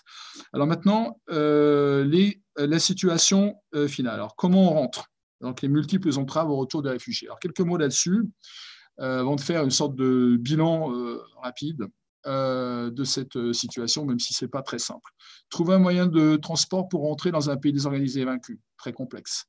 Il y en a qui rentrent en camion, il y en a qui rentrent en camion allemand, il y en a qui rentrent à pied. Donc cette photo euh, illustre un petit peu cette situation, à la fois le, désastre militaire et la manière de pouvoir rentrer. ensuite, on a une ligne de démarcation. Et la ligne de démarcation, elle date du 25 juin 40. L'armistice le 22, et euh, la ligne de démarcation du 25 juin 40. Et cette ligne de démarcation peut apparaître comme une sorte de ligne refuge, euh, mais elle va aussi être une ligne euh, piège. Alors, bon, d'abord parce que c'est une ligne d'asservissement, hein, donc l'objectif était évidemment de, maintenir sous tutelle le, bout de pays qui restait euh, à peu près, j'allais dire autonome, mais à discuter. Alors, c'est très bien cartographié, vous avez des cartes donc euh, très précises. Alors, alors maintenant, n'oubliez pas une chose, c'est que ce n'est pas une ligne de démarcation, mais ce sont des lignes de démarcation. Alors, il y a plus connu, la ligne de démarcation, qui, va, qui ne, qui n'est pas, euh, qui ne, qui ne s'efface pas en novembre 42, comme on le pense euh, parfois, mais en mars 43. Et il y aura encore des contrôles par la suite. Hein. Donc, euh, alors, pour quelle raison? Alors, les autres, bah, c'est les territoires annexés, c'est les zones de peuplement allemand, qui sont autant de zones qui sont des frontières à l'intérieur du pays. Donc, ils sont d'autres lignes de démarcation, même si la plus connue est la ligne de démarcation. ce sont des lignes de contrôle évidemment, avec euh, euh, non seulement extrême difficulté à franchir, mais aussi côté très tatillon, et, et, avec des règles qui changent d'un jour à l'autre en fonction de l'intérêt de l'occupant. pour les populations juives, c'est une interdiction au retour. Donc ceux qui sont partis ne peuvent plus revenir. Donc c'est un autre élément de cet outil de l'asservissement du, euh, du, pays hein, donc, qui est, qui, est, mis en place à partir, de, à partir, de ces, à partir du, 22 juin, même si la ligne date du, 25 juin, donc immédiatement. Et puis ensuite, on a une comptabilisation de ceux qui sont de l'autre côté. Alors ça, ce sont des données euh, qui proviennent, euh, c'est ce que j'évoquais tout à l'heure, donc c'est données consultées. Alors il y a deux sources, il y a Vidalinck et Eric Allary donc, euh, euh, qui a euh, récupéré, ils ont récupéré alors, des informations sur combien étaient les réfugiés à tel ou tel endroit. Appelons-les là les réfugiés, plus exodiens, il faut qu'ils rentrent. et après, comment on va faire. Donc, vous avez une carte ici qui vous montre la situation telle qu'elle avait été établie par le ministère des réfugiés, enfin le ministère de la Défense, excusez-moi, au 6 juillet 40, 4,5 millions. Euh, très probablement totalement sous-estimé et donc auquel on, doit ajouter, j'ai mis des points d'interrogation parce qu'il y avait des populations ici qui étaient des exodiens et qui devaient, qui devaient, qui devaient aussi rentrer, mais qui n'avaient pas été comptabilisés. Voilà. Et donc, quels sont les départements qui ont accueilli le plus de ces exodiens? Bah, En fait, ce sont des départements surtout du sud-ouest et un peu de Bretagne. Et donc, euh, la Haute-Vienne, euh, l'Indre-et-Loire, la Dordogne, euh, qui, sont parmi les départements qui ont, le, plus, accueilli, enfin accueilli, et qui ont dû les, héberger, les nourrir, les, et, et, les réfugiés qui ont dû ensuite rentrer dans des conditions très difficiles. Bon, alors maintenant, pour finir, revenir, oui, certes, mais les villes sont dévastées à Ville. Je parlais d'Aville tout à l'heure, quelqu'un qui était parti d'Aville. La ville est dévastée. Euh, et alors ça, je, je passe, j'aimerais éventuellement ultérieurement. Et quel bilan euh, doit-on tirer de ça? Alors, juste, excusez-moi, je reviens juste en deux mots là-dessus. On a monté un, un, web, un, ICG, si vous voulez, à partir des données qui ont été recueillies, qui ont été euh, mises en forme et qui, euh, qui, qui doit permettre de recueillir d'autres données aussi. On a les données qui ont été recueillies, qui prennent des entretiens, mais on en a d'autres susceptibles d'être recueillies. Voilà. Et donc, on, alors ça, c'est une carte très approximative. Ça va être, c'est en cours d'amélioration tout ça. Bon, quel bilan, quelle trace laisser alors, pour conclure sur, sur, euh, sur, cette, euh, sur cette situation, euh, bah, en février 41, il y aurait encore, mais inconditionnel, 972 000 réfugiés restants à rapatrier. donc, la situation de l'armistice, évidemment, n'a pas réglé. Ça va, compte tenu de la masse considérable de population, il y a encore énormément de personnes qui sont, qui sont, qui sont à rapatrier, un peu moins d'un million. Donc, évalué hein, euh, donc en, février 41. Euh, ensuite, situation militaire, on a eu euh, un peu moins de 2 millions de prisonniers, donc énormément de personnes qui ne reverront pas leur famille avant 45, et énormément de femmes seules, donc, alors qui, jouent un rôle énorme. Hein, donc, on voit souvent, c'est souvent les mères qui, qui, ont joué un rôle important pendant toute la période d'exode, à se charger des familles. Donc, souvent, dans des situations très, très déstabilisantes et très complexes. Euh, ensuite, on estime à 90 000, c'est donné de la Croix-Rouge euh, euh, internationale, le nombre d'enfants qui auraient été perdus pendant l'exode. c'est des, donc des évaluations, mais dans son ouvrage de, 2000, donc, de 2010-2013, Alary dit qu'en fait, on n'a pas de, fiabilité absolue par rapport à ça. c'est une indication qui a été fournie par la Croix-Rouge internationale, mais sans savoir nécessairement si c'est absolument fiable. Bon, et après, il y a bien d'autres choses encore. Euh, donc, les évaluations euh, difficiles euh, sur les décès. Alors, le problème des décès pendant l'exode avec les mitraillages et les bombardements sont difficiles à évaluer parce qu'en fait, il n'y a pas d'identification des civils indépendamment des, victimes de guerre. Donc, c'est une estimation. Donc, sur les routes, de 85 000 à 90 000, 125 000 blessés, ce sont des estimations. il y a un autre effet qui a été étudié par un pédopsychiatre qui s'appelle Alfred Bronner, qui a fait une thèse de de psychiatrie après la guerre, en 1946. Et il a travaillé sur les, enfants qui avaient vécu la guerre et l'exode en particulier, hein, et donc des troubles euh, particuliers, ils les a dessinés. Euh, et, euh, et, donc, très nombreux avaient été très fortement marqués, si vous voulez, par les situations qu'ils avaient pu vivre. Et d'autres nombreux parlent de l'encombrement, du ravitaillement, des nuits pénibles, des vols, de la fatigue, de la peur, des morts. Très peu rapportent des actes de solidarité. Donc, euh, ça aussi, ça en rajoute, hein, si vous voulez, à, l'effet psychologique, en fait. Hein. Euh, et le, donc euh, voilà, alors c'est le dernier point, je ne sais pas, je l'ai évoqué précédemment. Et donc ça vous montre un petit peu un état de la, de, la déstabilisation qui a été occasionnée par cette situation d'entrée en guerre. Merci, beaucoup, Didier Despont. Vous pouvez départager, comme on dit en bon, en bon technicien. Euh, vous pouvez départager. Merci beaucoup euh, votre, votre PowerPoint. C'était passionnant. Hein. C'est pour ça que je suis content qu'on ait pu vous avoir euh, ce soir, malgré la crise sanitaire, de pouvoir organiser cet événement. C'est vraiment un, plaisir de vous entendre. Un livre qui sort bientôt, on en dit quelques mots sur, ces, sur ce sujet. Hein. un livre qui sort, on peut peut-être en parler tout de suite aux, éditions. Herman, les, les, éditions, oui, les éditions Herman a lancé une, une collection qui s'appelle Collection émission chemin du savoir. Alors, chemin du savoir, chemin de sur le savoir. Oui, c'est bien trouvé. et où il y, a, il y, a, des témoignages, enfin, même si le livre, ce n'est pas, pas uniquement des témoignages. En fait, je m'appuie moi, sur, sur des témoignages, mais c'est pas, je n'ai pas voulu faire des témoignages linéaires. Si vous voulez, une personne qui va parler, on va reprendre trois pages sur la personne.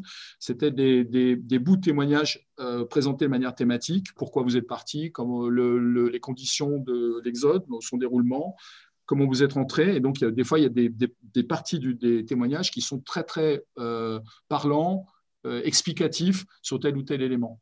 Et plus des cartes, évidemment. Bah, il, doit sortir le, le, le, 16. Le 16, le 16 décembre. Bon. Oui, le 16 décembre. Eh ben, écoutez, on espère que, que, ça sera un succès de librairie. En tout cas, c'est passionnant. Euh, si vous nous rejoignez, mesdames et messieurs, vous êtes bien euh, en direct sur euh, cette conférence du cycle de conférences université ouverte organisée par CY Sergi Paris Université. Vous venez bien d'entendre Didier Despont, qui est géographe, mais qui nous a parlé d'histoire dans ses implications géographiques notamment. On va y revenir dans quelques instants. Vous pouvez poser toutes les questions que vous souhaitez pendant un petit peu moins d'une heure maintenant, une, petite heure, euh, sur, sur euh, ces, ces, sujets. Alors évidemment, vous l'avez dit en commençant, hein, Monsieur Despont, vous n'avez pas pu parler de tout. On pourrait euh, parler pendant des heures de ces sujets. Moi, j'avais, pour lancer les, les, débats, quelques, quelques questions. D'abord, une question peut-être personnelle. Qu'est-ce qui fait qu'un géographe comme vous s'intéresse à des questions d'histoire? Alors, je sais bien qu'entre l'histoire et la géographie, ce sont des, Alors, ce sont des sœurs, des, des, cousines. Alors, moi, mais il y, a plusieurs raisons. Donc, euh, la, la, première, euh, la, première raison, c'est que moi, je travaille sur les stratégies résidentielles. Alors plutôt, euh, pourquoi vous habitez à tel endroit, expliquez-nous, etc. Euh, il a pu y avoir des stratégies résidentielles en relation avec des, opérations de rénovation urbaine, par exemple, ou euh, il y a un autre ouvrage qui doit sortir dans, pas très longtemps sur les gens qui habitent à côté des aéroports. Donc la, question des choix qui sont faits, la manière dont on identifie, la manière dont on, prospecte aussi, est quelque chose qui m'intéresse depuis très longtemps. En fait, des formes d'arbitrage. En fait, ça, c'est de la géographie sociale liée à des choix d'implantation. Bon, euh, ça, c'est le premier point. Donc, euh, en fait, j'ai un peu une méthodologie qui est euh, de méthode dite mixte, où on utilise à la fois des données statistiques et on utilise du qualitatif, donc sous forme de, des questionnaires ou des entretiens. Donc, quelque part, c'est ce que j'ai voulu utiliser, hein, dans cette, même si le statistique était plus complexe.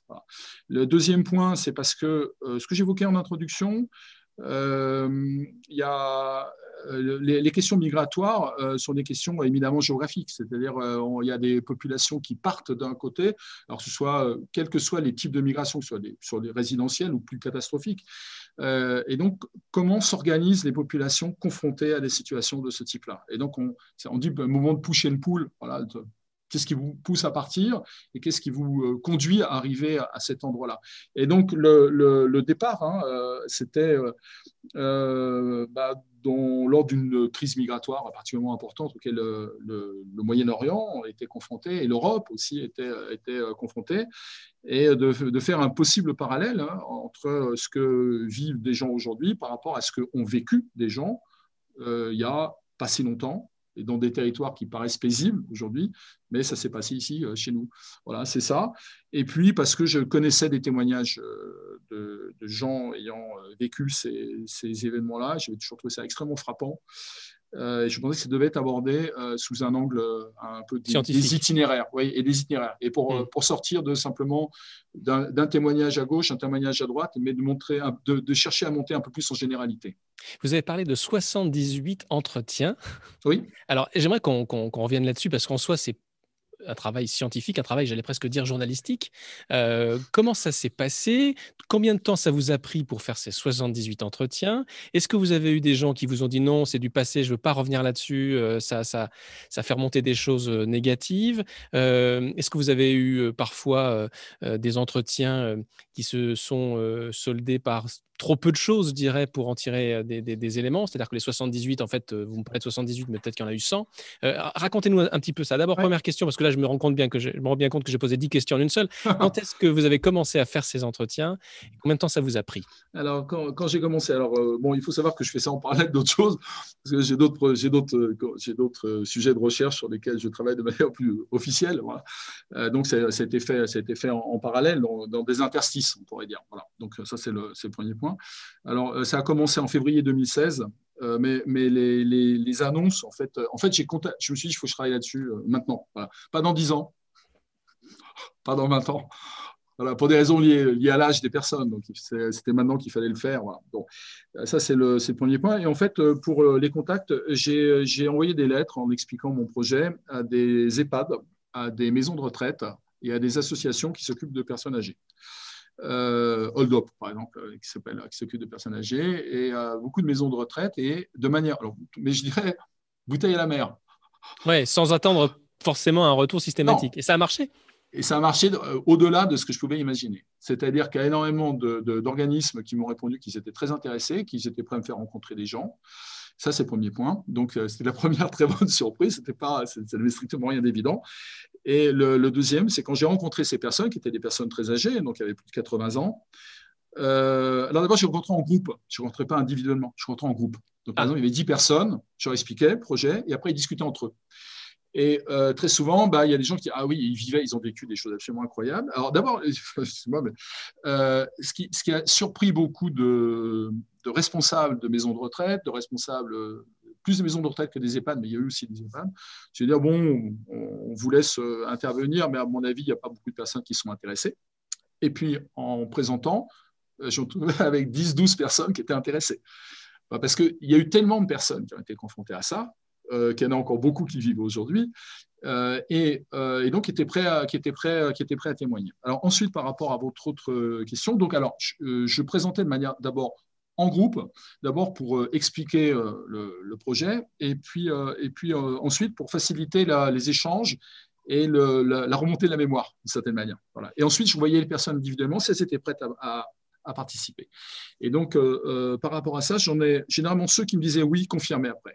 Et alors, une chose absolument incroyable, parce qu'en en fait, c'est comme si on a besoin de le dire. On a vécu ça et, et, euh, je, pense qu'il y avait pas mal de personnes aussi qui étaient euh, touchées par la crise migratoire et, qui disaient, mais nous aussi, et donc on veut dire.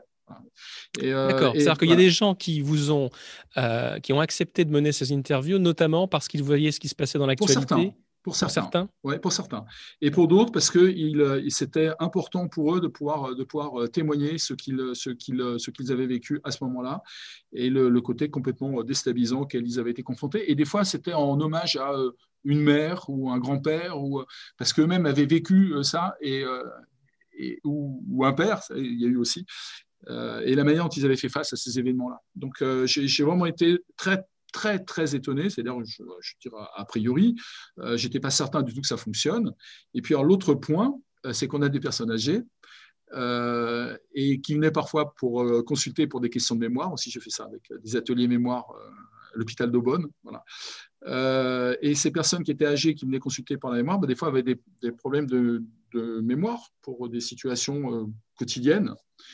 Et quand vous commencez à discuter sur le passé lointain, et, ça réactive euh, des choses. Incroyable. C'était absolument incroyable. Et j'ai même eu des. Enfin, j'ai dit à plusieurs reprises, il y, a des gens qui disent, mais euh, c'est émouvant. C'est Très, je ne pensais pas que j'avais tout ça dans la tête.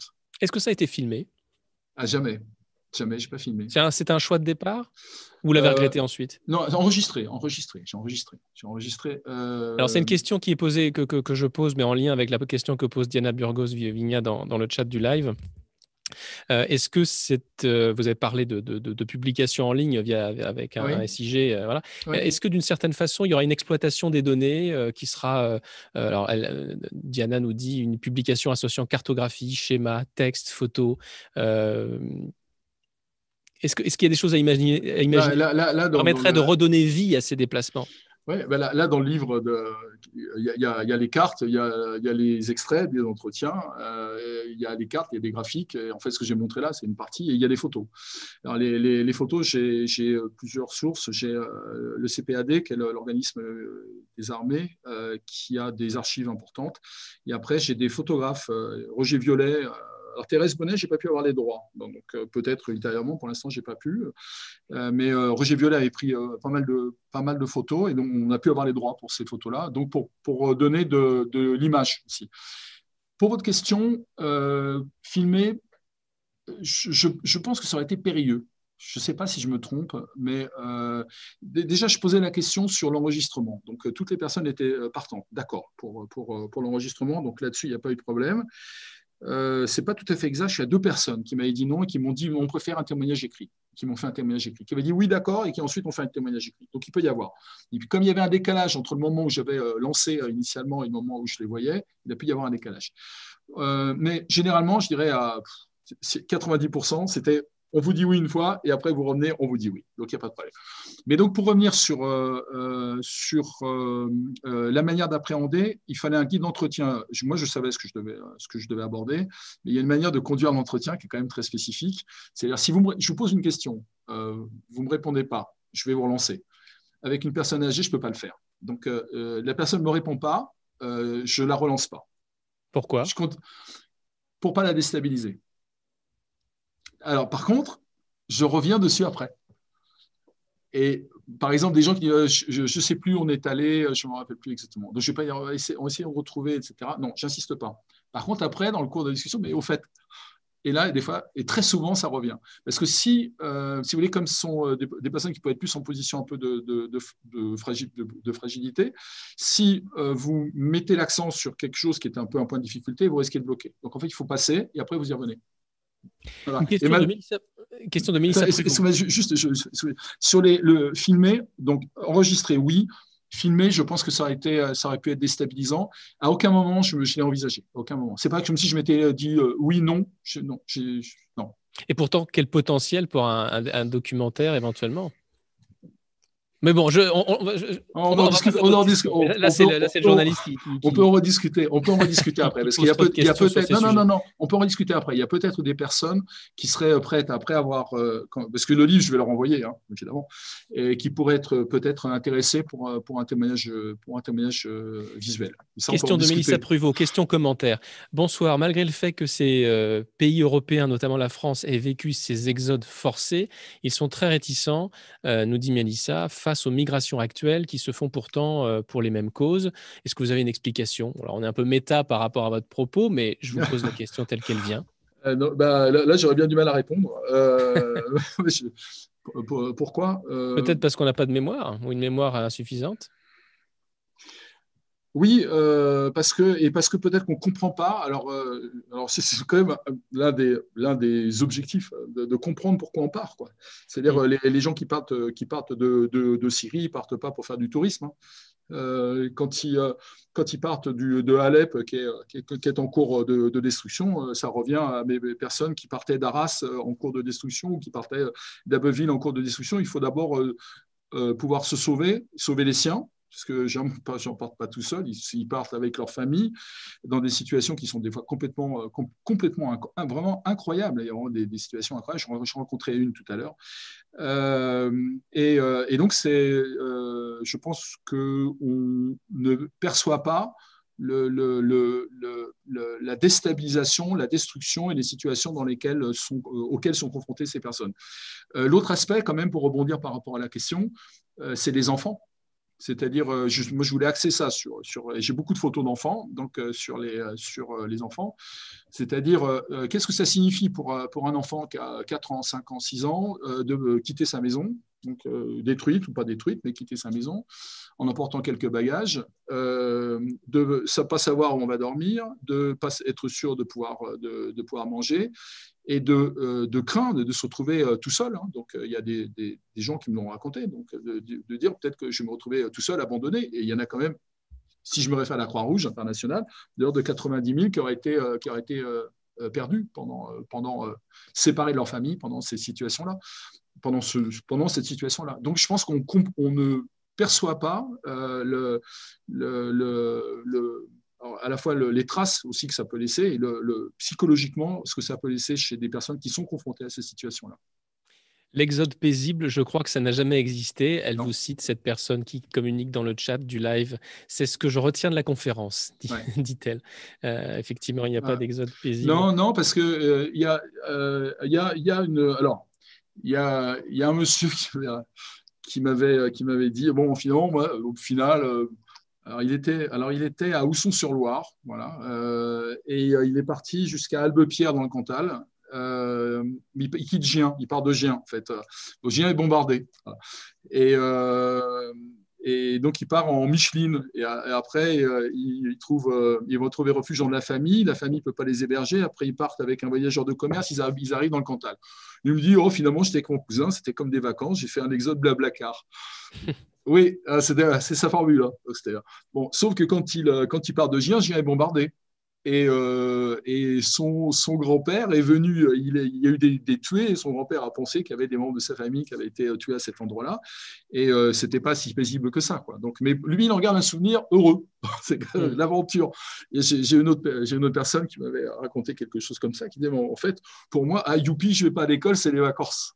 Ouais il peut y avoir des situations. Après, la mémoire, euh, la, mémoire, est sélective. Et d'ailleurs, ça fait le lien avec la question que j'allais vous poser ensuite sur la fiabilité. Ce terme est revenu souvent dans votre bouche au cours de votre exposé. Euh, vous avez fait 70 euh, interviews, peut-être même plus. En tout cas, je ne sais pas combien vous en avez exploité. Vous en avez fait 70 70, oui, j'ai exploité. Il y en a juste un. J'en ai exploité 77. Il y a juste une dame qui avait fait l'exode, mais elle était partie d'Algérie et plus tard. Donc, bon, voilà.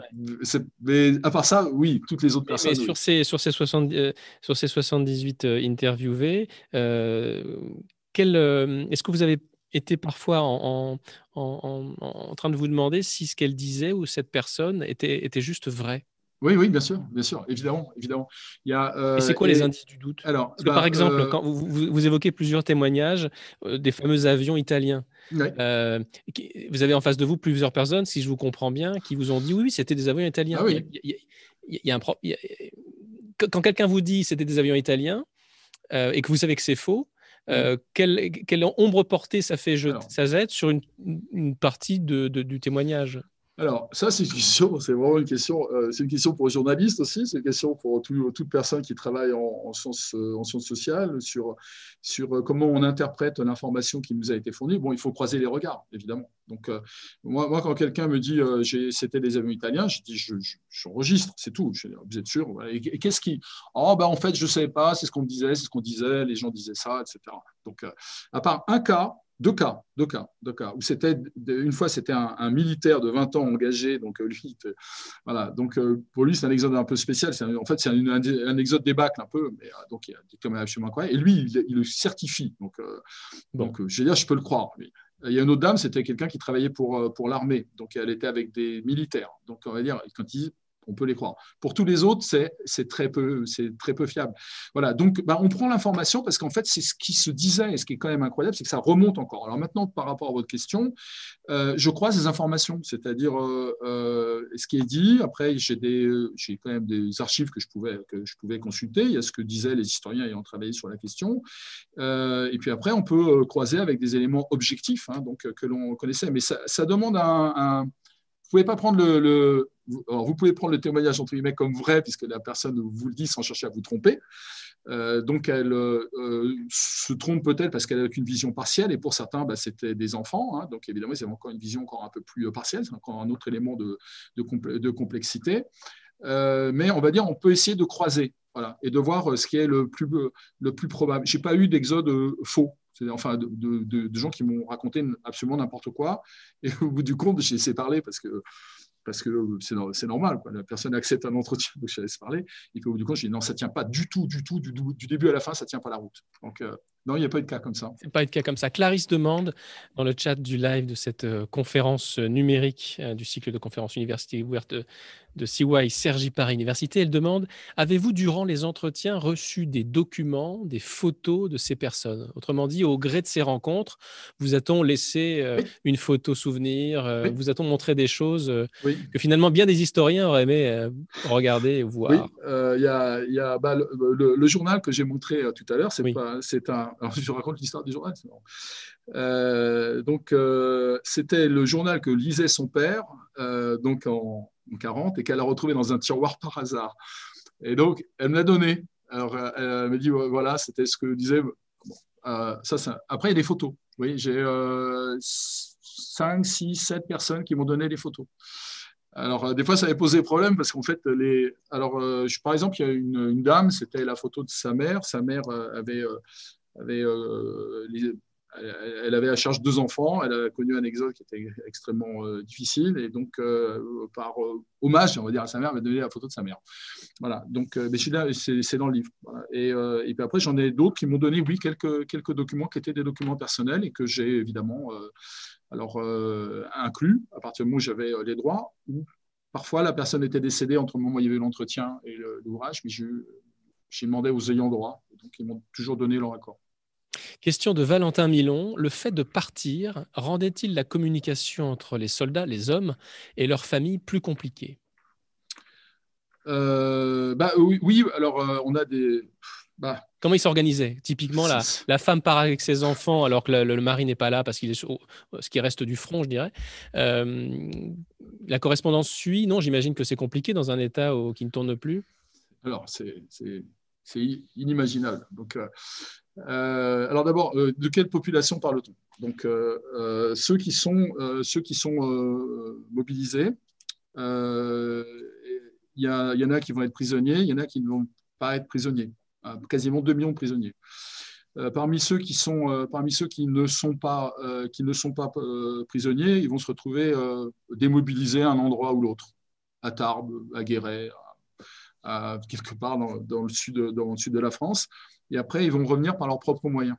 Alors, quand c'est une famille qui dispose d'un téléphone ou qui dispose d'un moyen, je sais pas, je, pense à un exemple, euh, voilà, familles, la famille était, c'était des commerçants à Toire, dans les Deux-Sèvres. Euh, euh, la mère est à Toire, elle, elle, fait encore un peu tourner l'épicerie. Le, père est démobilisé à Marmande. Ben, ils vont réussir à se contacter. Donc, des fois, après, pour ceux qui sont prisonniers, ils vont pouvoir envoyer des lettres donc à leur domicile.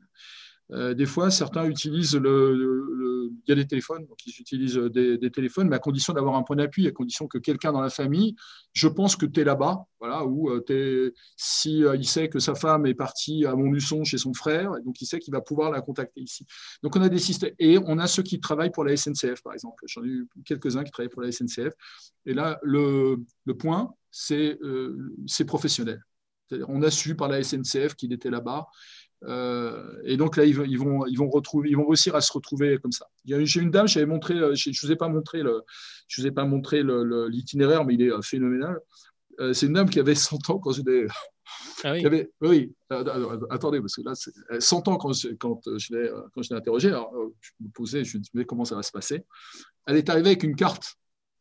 Une carte. J'avais, moi, géographe, je n'avais pas de carte. Alors, je lui disais, bon, c'est bon, je saurais hein, retrouver. Euh, donc, elle est venue avec une carte. Elle m'a dit, voilà, euh, donc son mari était à euh, Bléziba. Bléziba, c'est un peu au nord de Dijon. Et donc, il tenait le, tunnel, j'en ai parlé très rapidement, qui, qui, descend vers Dijon. Donc, il a dû rester jusqu'au dernier moment. Et à un moment, il, va être, il va être, il va être autorisé à partir. Il part en vélo. Il part de Dijon jusqu'à Aubenas en vélo. Alors qu'elle m'a dit, on fait une, une sorte de. C'est bon pour les mollets. Oui. Oui, en passant par des cols et tout. Euh, ils évitaient les routes, ils évitaient les grandes routes parce qu'ils pensaient que c'était euh, euh, menaçant. Et après, son, mari va devoir regagner son travail. Et donc, le lien, ce sera toujours par la SNCF. Donc, j'allais à la gare ici et on me disait où il était, etc. Donc, je ne réponds pas complètement à la question, mais il faut bien voir toutes les situations. Il y, a, y, a ceux qui vont être prisonniers, donc ils vont généralement renvoyer des, des lettres à leur domicile quand ils pourront le faire. Euh, il y a ceux qui, sont, euh, euh, qui ont été démobilisés et donc après, ils vont plutôt essayer de retourner à leur domicile. Des, des, des, témoignages incroyablement touchants de, gamins qui retrouvent leur père quand ils rentrent, quand il était démobilisé. il y en a eu quelques-uns qui ont témoigné là-dessus. et puis il y en a certains bah, qui ne se sont jamais retrouvés parce qu'ils ont profité de la situation. Sur un témoignage aussi comme ça. Bah, mon père, il, est parti, puis, il n'est jamais revenu, il n'a jamais voulu revenir. Ah oui, carrément. Oui, c'est ah, dans ces zones troubles de l'histoire que bah, ça, se font, évidemment. On reviendra d'ailleurs tout à l'heure sur le sort des enfants, 90 000, même si c'est 90 000 même si c'est un chiffre surévalué éventuellement, on ne sait pas, ça reste quand même euh, colossal. Je, vois qu'on en parle tout à l'heure. Il reste une demi-heure avant la fin de cette édition du cycle de conférences université euh, ouverte, enfin de cet épisode, j'allais dire. Euh, si vous nous rejoignez, vous êtes en bonne compagnie avec Didier Despont et moi-même Mathieu Roux, journaliste scientifique à Grand Labo. N'hésitez pas à poser toutes les questions que vous souhaitez. On parle d'exode de ces Françaises et ces Français qui ont été mis sur les routes de France pendant l'année 1940. Euh, je voudrais qu'on prenne quelques questions du chat. bonsoir, nous dit Julie. il y a aussi un, terme, elle revient sur la notion d'exodien, de, mmh. réfugiés, etc. Quelle est la différence entre immigré et expatrié pour vous qui êtes géographe? Expatrié est utilisé pour quelqu'un qui a une situation aisée et stable, pour mmh. l'interrogation. Euh, qu'est-ce que. L'expatrié, c'est celui qui va décider de partir, euh, souvent pour une. Oui, qui le fait par, par Qui fait par choix. Et, Encore que pendant la Révolution française, sauf erreur, on parlait d'expatriés, et ce n'étaient pas des gens qui étaient contents de partir, je crois. J'ai pas été, j'ai appelé sur la Révolution française. Donc, oui, tout à fait. Tu avais parlé d'expatriés, mm. euh, bah, qui quitte sa patrie, voilà, expatrié. Euh, mais c'est vrai que quand, on utilise le terme aujourd'hui, c'est plutôt des, gens qui partent plutôt pour des raisons professionnelles. L'immigré, c'est celui qui vient de l'extérieur, voilà, qui est qui est, qui est, né, euh, qui est souvent né dans un autre pays et qui est venu sur, le, sur, le, sur, le, sur un territoire avec franchissement d'une frontière. Pourquoi il alors, alors, attendez, alors juste euh, par rapport à ça, euh, ça, permet de, poser la question de, des, des, réfugiés euh, aujourd'hui. Les, les, réfugiés de l'Exode sont des réfugiés dans leur propre pays. Donc, alors le, il a, la convention de, sur les réfugiés de l'ONU de 51, alors ça n'existait pas, il n'y avait rien, il y avait rien à, ça date de 51, sur l'ONU, euh, distingue les réfugiés, les réfugiés donc euh, ceux qui euh, viennent, qui ont trouvé refuge dans un, dans, un pays parce qu'ils sont menacés dans le leur, des déplacés. Donc les exodiens, ça pourrait être, on pourrait les considérer comme des déplacés puisqu'ils sont à l'intérieur de leur pays. Ben, maintenant, ils sont à l'intérieur de leur pays, mais un pays qui est occupé. Donc, ouais. Il vous a paru en tout cas que cette notion d'exodien, elle valait le coup d'être reprise, qu'elle faisait sens? Bah, euh, Oui, parce qu'en fait, euh, souvent, on, peut avoir, euh, on va, dire, on va utiliser une fois un terme de, de, de réfugié. L'exodien, c'est celui qui va partir. Donc, c'est qui, qui, décide de, partir, de chercher, une solution. Et je trouve que ça date de 90, hein, c'est dans, dans 1940, elle est terrible hein, que, Jean-Pierre Azema a utilisé ce terme-là. Eric Canary le réutilise, euh, Pierre Miquel ne l'utilise pas. Euh, moi, je trouvais que euh, ça, reflétait une, réalité et le néologisme pouvait être conservé, donc je l'ai, utilisé. Question de l'équipe de, du service culture de l'université CY Sergi Paris Université. J'en profite pour saluer Adeline Ecker et Caroline Chantegreil. Avez-vous reçu des témoignages de liens durables qui se seraient tissés sur les routes ou avec des personnes qui auraient hébergé des exodiens? Oui. Euh, Parce que tout à l'heure, vous avez dit qu'en termes de solidarité, c'était pas foufou. Bah, euh, D'après ce que disait ce psychothérapeute en 1946 dans sa thèse, euh, comme quoi peu d'éléments de, peu de, peu de solidarité avaient été rapportés. Euh, vous, on vous a raconté qu'au contraire, des choses, des, alors, de, tout, de tout. Oui, en fait, il y, a de tout. Il y a à la fois, il y a eu à la fois des situations d'une extrême dureté euh, et des, des, situations euh, de solidarité vraiment étonnantes. Et donc, j'ai deux cas. Voilà. Un, le plus et un, plutôt un peu moins. Donc, sur, sur le plus, c'est des gens qui partent, je je sais plus, je sais plus, ils partent de la région parisienne, c'est absolument sûr. Euh, ils partent à pied euh, avec les, deux parents, les deux enfants, deux filles, dont une fille qui est handicapée mentale. Donc, déjà pour une euh, situation qui est aussi très complexe. Hein. ils arrivent à, Blois. ils franchissent le pont de Blois juste un peu avant qu'il soit détruit. Et de l'autre côté, ils sont hébergés dans une ferme. Et le, en fait, ils sont hébergés dans une, ils sont hébergés dans une ferme et la, la, ferme, ils ont des ouvriers agricoles, ils les hébergent dans, là, là où ils hébergent des ouvriers agricoles. Et ils vont rester, et la, dame souffre horriblement des pieds parce qu'ils partent. Et c'est ce monsieur qui la soigne, et ils vont rester amis, et ils vont se revoir longtemps après. ils ont gardé, et ils ne se connaissaient absolument pas, et la dame que j'ai rencontrée bah, insisté, on ne se connaissait absolument pas, on s'est rencontrés dans ces circonstances, ils ont été absolument adorables, et donc, et par la suite, les liens sont restés, ils sont restés amis. Euh, parce que c'est vraiment étonnant. C'est un hasard, un hasard complet de, des, relations, des relations individuelles. et, dans ce, dans ce cas-là, ce n'est pas euh, quelqu'un qui a dit euh, gardez ces personnes-là. Ça s'est fait, je vous aide. Alors maintenant, j'ai un autre cas qui n'est pas, pas complètement pas complètement l'inverse. C'était une, c'était une c'était une famille qui était, qui était, pas, qui était de Beaumont-la-Ronce. Bon, c'est un, village qui est, qui est au, nord de Tours. et eux n'étaient pas partis, donc eux avaient décidé de, rester. Alors le, père était Charon, maréchal Ferrand, pardon, maréchal Ferrand. Donc le père était resté pour des raisons qui étaient des, raisons professionnelles, mais ils ont accueilli des gens. alors, un peu incité, visiblement, c'est le maire qui leur a dit prenez des gens. Ils avaient des, pareil, des moyens enfin des moyens, je veux dire, un, local pour les héberger. Donc, ils ont hébergé des, femmes, deux femmes euh, et, des, enfants avec. Euh, sauf que là, c'est comme s'il y avait un clivage social. Oui, euh, c'était des Parisiennes, elles ne parlaient pas comme nous, et, puis, et puis par la suite, bah, jamais, jamais, ils n'ont même pas fait un geste pour nous, ils sont jamais venus nous revoir, etc. Voilà. Donc, des, histoires différentes. Mais même, oui, et mais ne pas imaginer que les, les Exodiens du nord accueillis, euh, accueilli au sud, ça allait euh, toujours euh, très bien. par exemple, je sais pas, je suis quelqu'un qui venait de, donc, qui venait de des Vosges, donc qui avait pas, qui était parti, donc ils avaient réussi à, partir en voiture, enfin, un itinéraire absolument, absolument fou. Ils arrivent à Tarbes. Ils ont de la famille à Tarbes, ils sont hébergés. Et là, à Tarbes, à l'école, on disait, on les appelait les Boches de l'Est.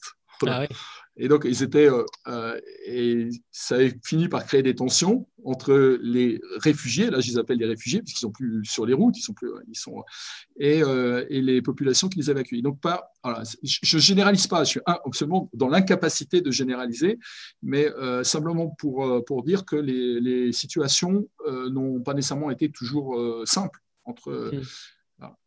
Vous êtes, vous êtes obligé de partir forcément sur des, sur des, des cas euh, concrets, ce qu'on vous a donné. Existe-t-il à votre connaissance une étude peut-être moins qualitative que la vôtre qui aurait été menée, qui donnerait des ordres de grandeur euh, qui permettraient... Non, non?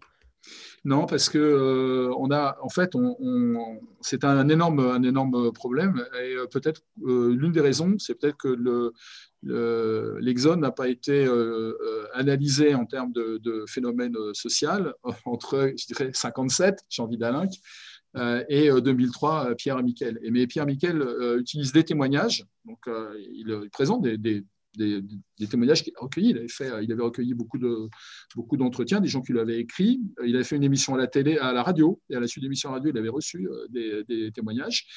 Euh, mais il n'a pas fait d'études, euh, on va dire, euh, statistiques sur, mm. sur les profils des, et ce que j'ai tenté de faire, mais si vous voulez, il faudrait plus d'informations. En fait, il faudrait, compléter. Et Eric Allary, et, lui, a énormément travaillé sur tout un tas d'archives qu'il a, qu'il a utilisées. C'est lui qui a le plus travaillé hein, sur cette, sur cette question-là. Euh, extrêmement intéressante, euh, comme je disais tout à l'heure, des fois de, mairie, des fois d'entreprises. les entreprises ont joué un rôle important, je n'ai pas trop dit, mais j'ai observé euh, assez fréquemment que c'était les entreprises qui avaient contribué aussi à, faire partir leurs leur, leur, travailleurs. Euh, pour ensuite pouvoir les, faire revenir. Et donc, il avait euh, pu maintenir des liens avec certains. J'ai eu des exemples comme ça, par exemple, quelqu'un qui part de Rouen et qui va jusqu'à Fumel. Ils sont partis loin, hein, Fumel, euh, et ça avait été totalement organisé par l'entreprise. Et donc, il était attendu à tel endroit par l'entreprise. Donc, il y a aussi des situations comme ça.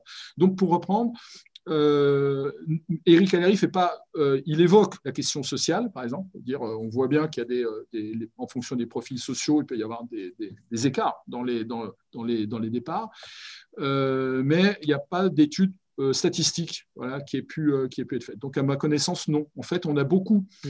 de matériaux, un peu quelqu'un qui a raconté, donc on peut retrouver un témoignage, deux témoignages. la montée en généralité, c'est plutôt par Pierre Miquel et par, euh, et par Eric euh, Allary. Euh, mais dans, dans, les deux cas, ils n'ont enfin, voilà, ils n'ont pas travaillé avec ce type d'approche. Alors maintenant, est-ce que ça pourrait être fait Serait-il, Didier Despont, éventuellement possible de faire appel à la génération suivante? C'est-à-dire, j'imagine que ces gens qui se sont déplacés en ont parlé parfois à, à leurs enfants, ce qui eux-mêmes, sans l'avoir vécu, auraient peut-être deux ou trois souvenirs, deux ou trois idées clés. Est-ce que ce serait hasardeux de faire appel à cette ressource mentale-là? Ou, ou est-ce que vous pensez que c'est possible mais c'est juste les moyens qui manquent. Là, là, je pense que ce serait très, très compliqué euh, parce que déjà, le, pour, pour les personnes que j'ai rencontrées, euh, des fois, il y avait les souvenirs qui étaient les souvenirs directs, très suivis. Voilà. Euh, à, reconstituer un itinéraire, comme cette dame dont je parlais de 100 ans, où je fais reconstituer l'itinéraire quasiment, mais les routes qu'elle a prises. Donc c'était, dans d'autres cas, c'était plus par bribes, par flash, Donc euh, ça, je me rappelle très bien. Ça, je me rappelle très bien. Et puis entre les deux, on, on, reconstruit l'itinéraire parce qu'il n'a pas pu passer ailleurs que là. Donc euh, on, construit l'itinéraire. Mais on va dire c'est plutôt des flashs. On n'a pas le film. Voilà. Euh, mais ça reste leur vie. Et après, ils ont pu en discuter avec leurs parents. Et donc, il y a leurs souvenirs directs. Et après, il y avait aussi ce qu'ils avaient gardé de leurs souvenirs avec leurs parents. maintenant, pour des souvenirs indirects, mon père m'a dit, mon grand-père m'a dit, euh, je pense que c'est très complexe. Et même posons-nous la question est-ce qu'on est capable, euh, voilà, si mes grands-parents m'ont raconté des choses, est-ce que je suis capable de reconstituer le film? Euh, Il manque des tas de, briques, il manque des tas d'éléments. Donc je crois que c'est très hasardeux. Sauf si des gens ont laissé des témoignages rédigés, écrits, et qui pourraient être. donc moi je suis preneur. Hein. Quand, quand, on, quand, on, a, quand on a travaillé là-dessus, quand j'évoquais alors très rapidement tout à l'idée du SIG. Euh, on a, il est monté, enfin, on a commencé à le monter, hein, il, est déjà identifié. Hein. donc, euh, l'idée, c'est de reconstituer les itinéraires de manière très précise, d'intégrer de l'audio, donc des, entre autres les témoignages des personnes que j'ai pu avoir, des photos, quand on en a, qu'on puisse les positionner, euh, et puis euh, ensuite, de considérer que c'est une base ouverte, hein, ce n'est pas, euh, c'est pas les 78 entretiens, stop, on arrête là. Donc, si d'autres personnes ont envie de dire, mais moi, en fait, des choses comme ça, je, peux raconter, bah, on est tout à fait preneur. Mm. Et donc, il suffit de faire les entretiens, puis d'ajouter à la base. Donc, c'est, une, c'est, une, c'est la base d'une base. Mais c'est la base base. Oui, c'est la base d'une base, qui est bah, éventuellement évolutive. J'espère que votre appel sera entendu et s'il y a des gens qui veulent euh, s'associer à cette initiative, soit en y contribuant, soit en la faisant connaître, qu'ils se signalent à vous. Euh, on reverra avec plaisir. Ouais. Alors, deux, petites questions finales parce qu'il est déjà, ouh, bob, ça passe trop vite, 19h45. Euh, J'ai une question. On, vous on a parlé de, ceux qui partaient, évidemment, de ceux qui revenaient très vite. Plus ou moins vite. Et puis, est-ce qu'on a parlé de ceux qui restaient définitivement? Euh, ah, alors, euh, euh, attendez, de ceux qui restaient définitivement, les, de ceux, qui n'étaient pas partis ou ceux, qui étaient... Non, non, de ceux qui partent. Ah oui. Et qui s'installent. Oui, et qui ne reviennent pas parce que finalement la vie est belle à Nice ou, à Marseille. alors, c'est pas, c'est pas, ceux, que j'ai eus, c'était pas pour cette raison-là. C'était ceux que j'ai eus, c'est on ne revient pas parce qu'on est menacé. Et donc j'ai un monsieur juif qui était, qui était, qui était parti. Et euh, le, euh, son, père euh, dit, enfin, qui, avait un, réseau de connaissances, qui lui dit Écoute, tu ne peux pas rentrer. Tu ils avaient un, magasin à Paris. Tu ne peux pas revenir sur Paris. C'est pas possible. il ne revient pas sur Paris. Et donc, ils étaient, dans le, ils étaient dans le centre de la France. Et là, ils vont dire alors, euh, parce que les mesures anti-juives, euh, c'est très rapide, sont, sont mises en place. Bon, D'abord, il y a ce que j'ai montré hein, sur, euh, sur les interdictions donc, de, circulation, ce que j'ai montré. Et eux vont trouver refuge dans un tout petit village à côté de Lannemezan, en disant Mais on part, c'est une sorte de second exode, on part et on reste là. Parce que, et ils vont passer toute la guerre là-bas. Donc, ils ne reviennent pas parce qu'ils ne peuvent pas revenir. Et donc, ça, a été, euh, évoqué dans d'autres ouvrages. Hein. Moi, j'ai eu, eu, trois cas comme ça, trois, personnes qui étaient dans cette situation-là, euh, parce qu'ils ne pouvaient pas revenir. J'ai un, monsieur qui était un monsieur d'origine irakienne, il était de nationalité étrangère, il avait un, passeport britannique. Et donc, lui, il a essayé de, enfin ses parents lui l'avaient pas, il était plus petit, hein, il avait pas. Euh, ils ont essayé de, prendre un, bateau pour euh, la Grande-Bretagne qu'ils n'ont pas pu avoir. Et après, ils sont restés dans le sud de la France. Ils ne sont pas revenus à Paris non plus. Ils, estimaient qu'ils étaient menacés. Ils ne sont pas revenus à Paris. Donc, il y a eu des situations. Donc, c'est pas, on, c'est pas, on va se faire, on va faire une, belle vie au sud. C'est plutôt, il y a de telles menaces. C'est ça qu'il faut, il faut c'est ça qu'il faut imaginer. Et donc, on, et, donc, on laisse derrière soi, compte tenu du fait qu'on est parti dans la précipitation, souvent on laisse derrière soi euh, des biens, euh, meubles. Oui, je donne un autre, un autre exemple. J'ai un, monsieur, j'aurais pu, il est euh, absolument fascinant. Euh, le, la, la, la, la, mère de ce monsieur habitait à Paris. Et, et au, pendant, le, pendant la, période de drôle de guerre, cette dame décide de protéger ses enfants en les envoyant à Main-Bressy. Main-Bressy, pour situer, c'est à 30 km de Sedan. Ouais. L'endroit idéal. L'endroit, l'endroit, l'endroit, pas idéal. Et donc, euh, chez ses grands-parents. Donc, il part avec les grands-parents. Et donc, il y a trois enfants avec les grands-parents. Et donc, euh, évidemment, Sedan, menacé tout de suite, ils partent en charrette. Et, euh, ils partent en charrette, après, ils partent en voiture. Enfin, un itinéraire absolument incroyable. Ils arrivent à, à Saumur. Ils arrivent à Saumur pendant la bataille de Saumur. Je ne sais pas si vous voyez l'itinéraire. Ils quittent Sedan pendant l'attaque de Sedan. Ils passent par Montcornet. Ils arrivent Ah oui, non, mais c'est, ah, mais c'est pas possible. C'est pas, vous êtes sûr il arrive à Saumur au moment, et il, trouve refuge dans les caves à Saumur pendant, le, pendant la bataille de Saumur, donc euh, euh, le 18-19 juin 40. Voilà. Et ils viennent des Ardennes, et eux, ils ne peuvent, pas, ils peuvent pas revenir dans, dans les Ardennes. C'est territoire, euh, c'est territoire, c'est, alors c'est pas annexé, les Ardennes, mais c'est la zone réservée où, le Reich euh, envisage de faire une zone de colonisation. Et donc, ils ne peuvent pas revenir euh, dans les piégés. Ils sont piégés. Mm. Euh, ils ne retournent pas là-bas. Ils retourneront beaucoup plus tard et leur maison sera totalement détruite, en fait, saccagée. Et donc, ils ont totalement, ils ne pouvaient pas revenir. Ils sont restés à Bagnolet-Saumur. Il nous reste une dizaine de minutes avec euh, Didier Despont. Profitez-en pour poser les questions que vous souhaitez. Moi, j'en ai plein, mais bon, j'aimerais que vous en posiez aussi. Ils sont timides ce soir. Euh, question sur la population euh, qu'on empêche de fuir au tout départ. vous l'avez dit, il y a des ponts qui sautent parce que les Français bloquent, veulent bloquer autant que faire se peut l'arrivée des, Allemands ou leur déploiement. Est-ce qu'il y a eu un souhait délibéré des, Allemands d'empêcher cette fuite ou est-ce que finalement pour eux, euh, ce n'était pas un sujet? Ah, ça, ça, ça, reste un sujet débattu par, par euh, les historiens. Euh, là, j'aurais un peu de mal à me prononcer de manière absolument fiable. Je m'appuie donc, enfin fiable, avec mes propres éléments. Donc, je m'appuie sur. Je crois que c'était une stratégie quand même assez délibérée de, pouvoir favoriser cette, ces, ces, départs de population qui contribuaient à déstabiliser encore un peu plus l'armée française ou britannique, enfin britannique pendant un temps et après, après euh, française. Oui, parce que les images, hein. finalement. Oui, oui, bah, il y, a des, y, y a des images où euh, on voit et il y, a, y a des gens qui le disent, on était, euh, on était mélangés aux soldats et les soldats étaient peut-être visés. Alors, est-ce qu'ils visaient les soldats ou est-ce qu'ils visaient les civils?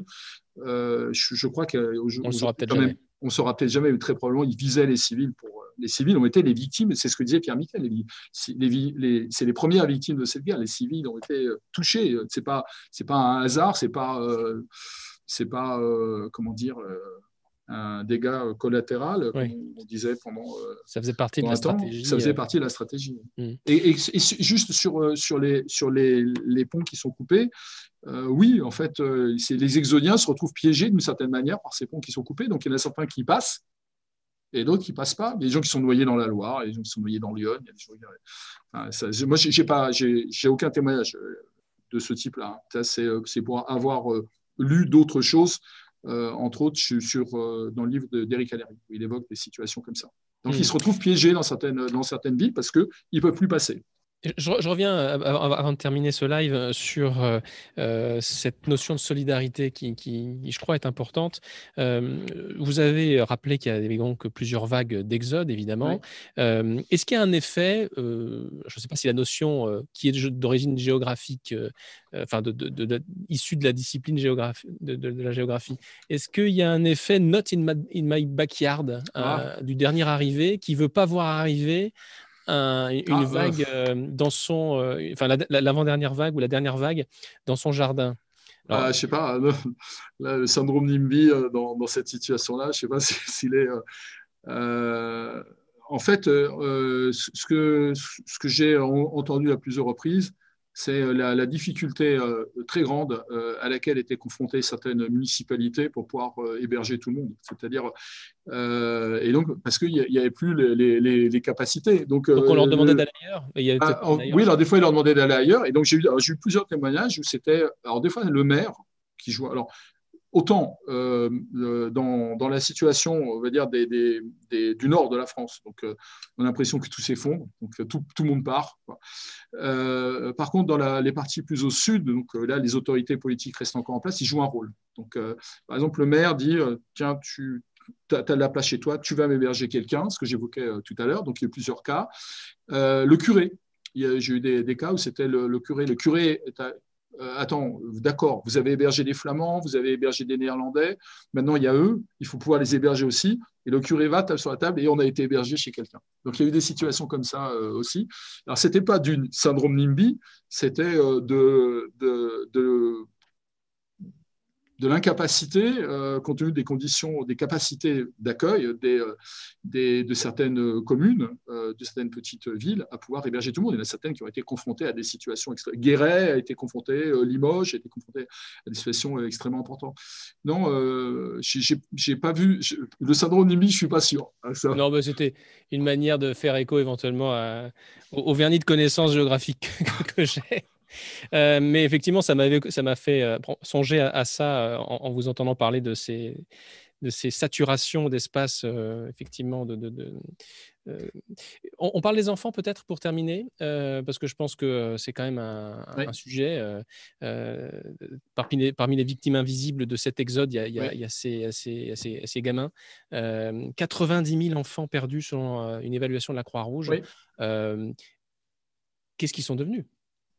Alors, euh, il y, a eu des tas d'appels à la fin de, à, partir du mois de juillet, euh, des annonces dans les journaux euh, pour, pouvoir essayer de retrouver des, enfants. Des fois, c'est des, maris perdus, des femmes perdues, des grands-pères perdus, des grands-mères perdus. il y a eu tout un tas de situations comme ça, mais évidemment, c'est encore plus dramatique quand il s'agit d'enfants, avec la, possibilité de pouvoir une autonomie. Puis, et donc, je ne sais pas c'est une évaluation, donc, euh, et euh, euh, avec des troubles psychologiques souvent très importants. Je dis, c'est vraiment étonnant, hein, ces études qui avaient été faites alors, à chaud hein, par Bronner. Oui, en 46, ça 46, 46, sa, thèse de, sa thèse de doctorat sort en 46. Il a fait une étude sur les enfants pendant l'occupation et et, et, aussi, et aussi l'exode.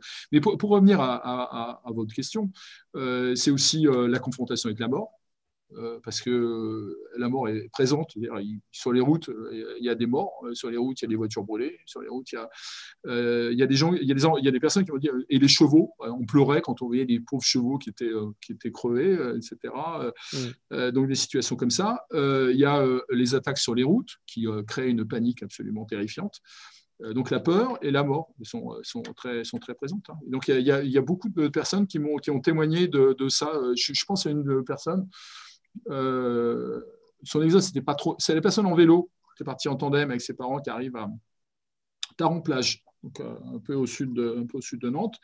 Euh, elle, m'a rappelé un, souvenir. Elle, arrive dans une grange. le soir, il y avait elle et ses parents, donc elle était plutôt rassurée. le matin, il y avait un monde fou. Elle a prise de panique par, par la foule, et donc elle se rappelait de cette panique. Et ce qui est incroyable, vous voyez, par rapport à la question que vous posiez tout à l'heure, c'est qu'on va dire, bon, c'est des souvenirs lointains. Et en fait, euh, quand, si vous posez la question, si vous creusez un peu, si vous laissez témoigner, euh, ce qui ressort en termes d'intensité de, de, vécu et de témoignage est absolument incroyable. Et ça honnêtement, je ne m'y attendais pas. Hmm. Ultime question, Didier Despens, sur euh, la suite. ça, fait un, fait longtemps que vous vous occupez de ce projet. Les, interviews, vous l'avez rappelé, ont commencé dès 2016. Hein, je, je, sais bien ce que vous me disiez tout à l'heure. Oui. Euh, le livre sort là, le 16 décembre. Mmh. Euh, est-ce que ça s'arrête là? Alors, il y a cette base de données, mais si je, si je mets de côté la base de données euh, et, cette exploitation des, des datas, euh, est-ce que vous avez envie de faire autre chose? Est-ce que vous vous êtes donné, est-ce que vous avez d'autres idées de recherche connectées à cette, à cette, à cette recherche-là qui, qui, qui, aurait, qui serait apparue euh, à votre esprit et que vous avez envie de pousser? Est-ce que vous dites, tiens, pourquoi pas un documentaire? Tiens, pourquoi pas trouver un réalisateur qui voudrait mettre ça en musique? Est-ce que vous avez des envies euh, ou est-ce que vous en avez un peu assez parce que c'est fatigant de faire ça En plus, vous le rappeliez de côté par rapport à vos recherches. Alors, euh, oui, alors, sur, alors, sur, le, sur euh, en fait, il y a un, peu deux questions ou sur le, thème, sur quoi vous voulez vous travailler. Alors, ben, en fait, il y avait on avait un projet de recherche. Il y a une question qui a été posée par Diana Bureau, elle, faisait partie de ce programme de recherche sur la, la manière dont les populations issues de l'immigration qui parfois viennent d'une immigration un peu tranquille et des fois viennent d'une immigration liée à des phénomènes de ce type-là.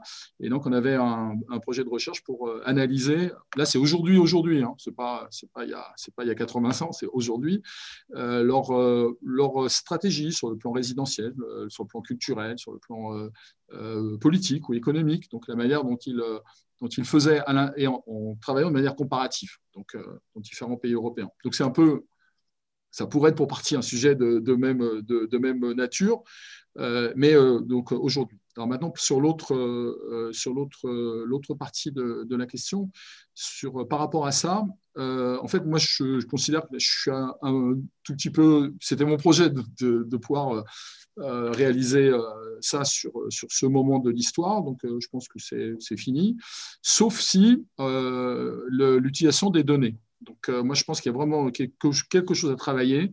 Et ça, c'est un apport géographique euh, que l'on peut travailler peut-être avec des collègues d'histoire. Donc, euh, de voir comment on peut mettre en forme certaines, certaines données, peut-être pour les interroger différemment. Et donc, c'est pour ça on le, le, SIG est monté. Hein. donc, enfin, il est monté, il est structuré. toute l'information n'est pas encore mise dedans, mais le, site, la place, est déjà, c'est à Sergi. Hein. C'est déjà, ça existe. Hein.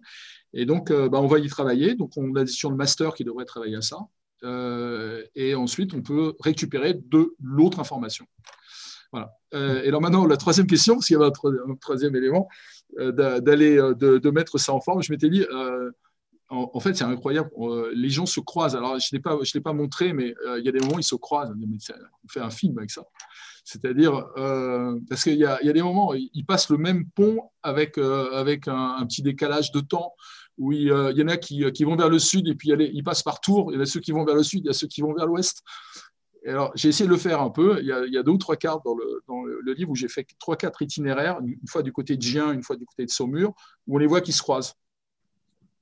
Oui, ça. C'est, ah ça, visuellement, ne serait-ce que. oui, c'est ça. On imagine ce que ça pourrait être, euh, de ce que ça pourrait produire sur, le, sur un plan euh, filmographique.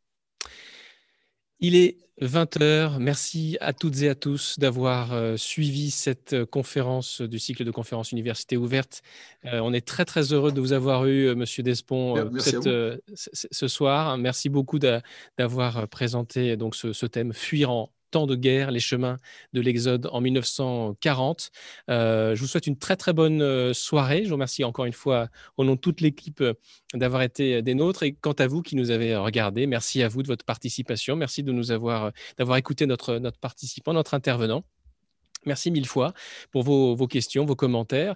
Et vous retrouvez bien sûr une prochaine conférence du cycle Université ouverte l'année prochaine, au mois de février. Est-ce que ce sera au travers de YouTube ou est-ce que ce sera en présentiel je ne sais pas, mais en tout cas, euh, merci à vous toutes et tous de, nous suivre, euh, que ce soit en numérique ou en présentiel, avec autant d'assiduité. Très bonne soirée à toutes et à toutes. Merci euh, à tous et à toutes. Merci encore une fois, Monsieur Despont. Et puis, à une prochaine fois. Oui, merci.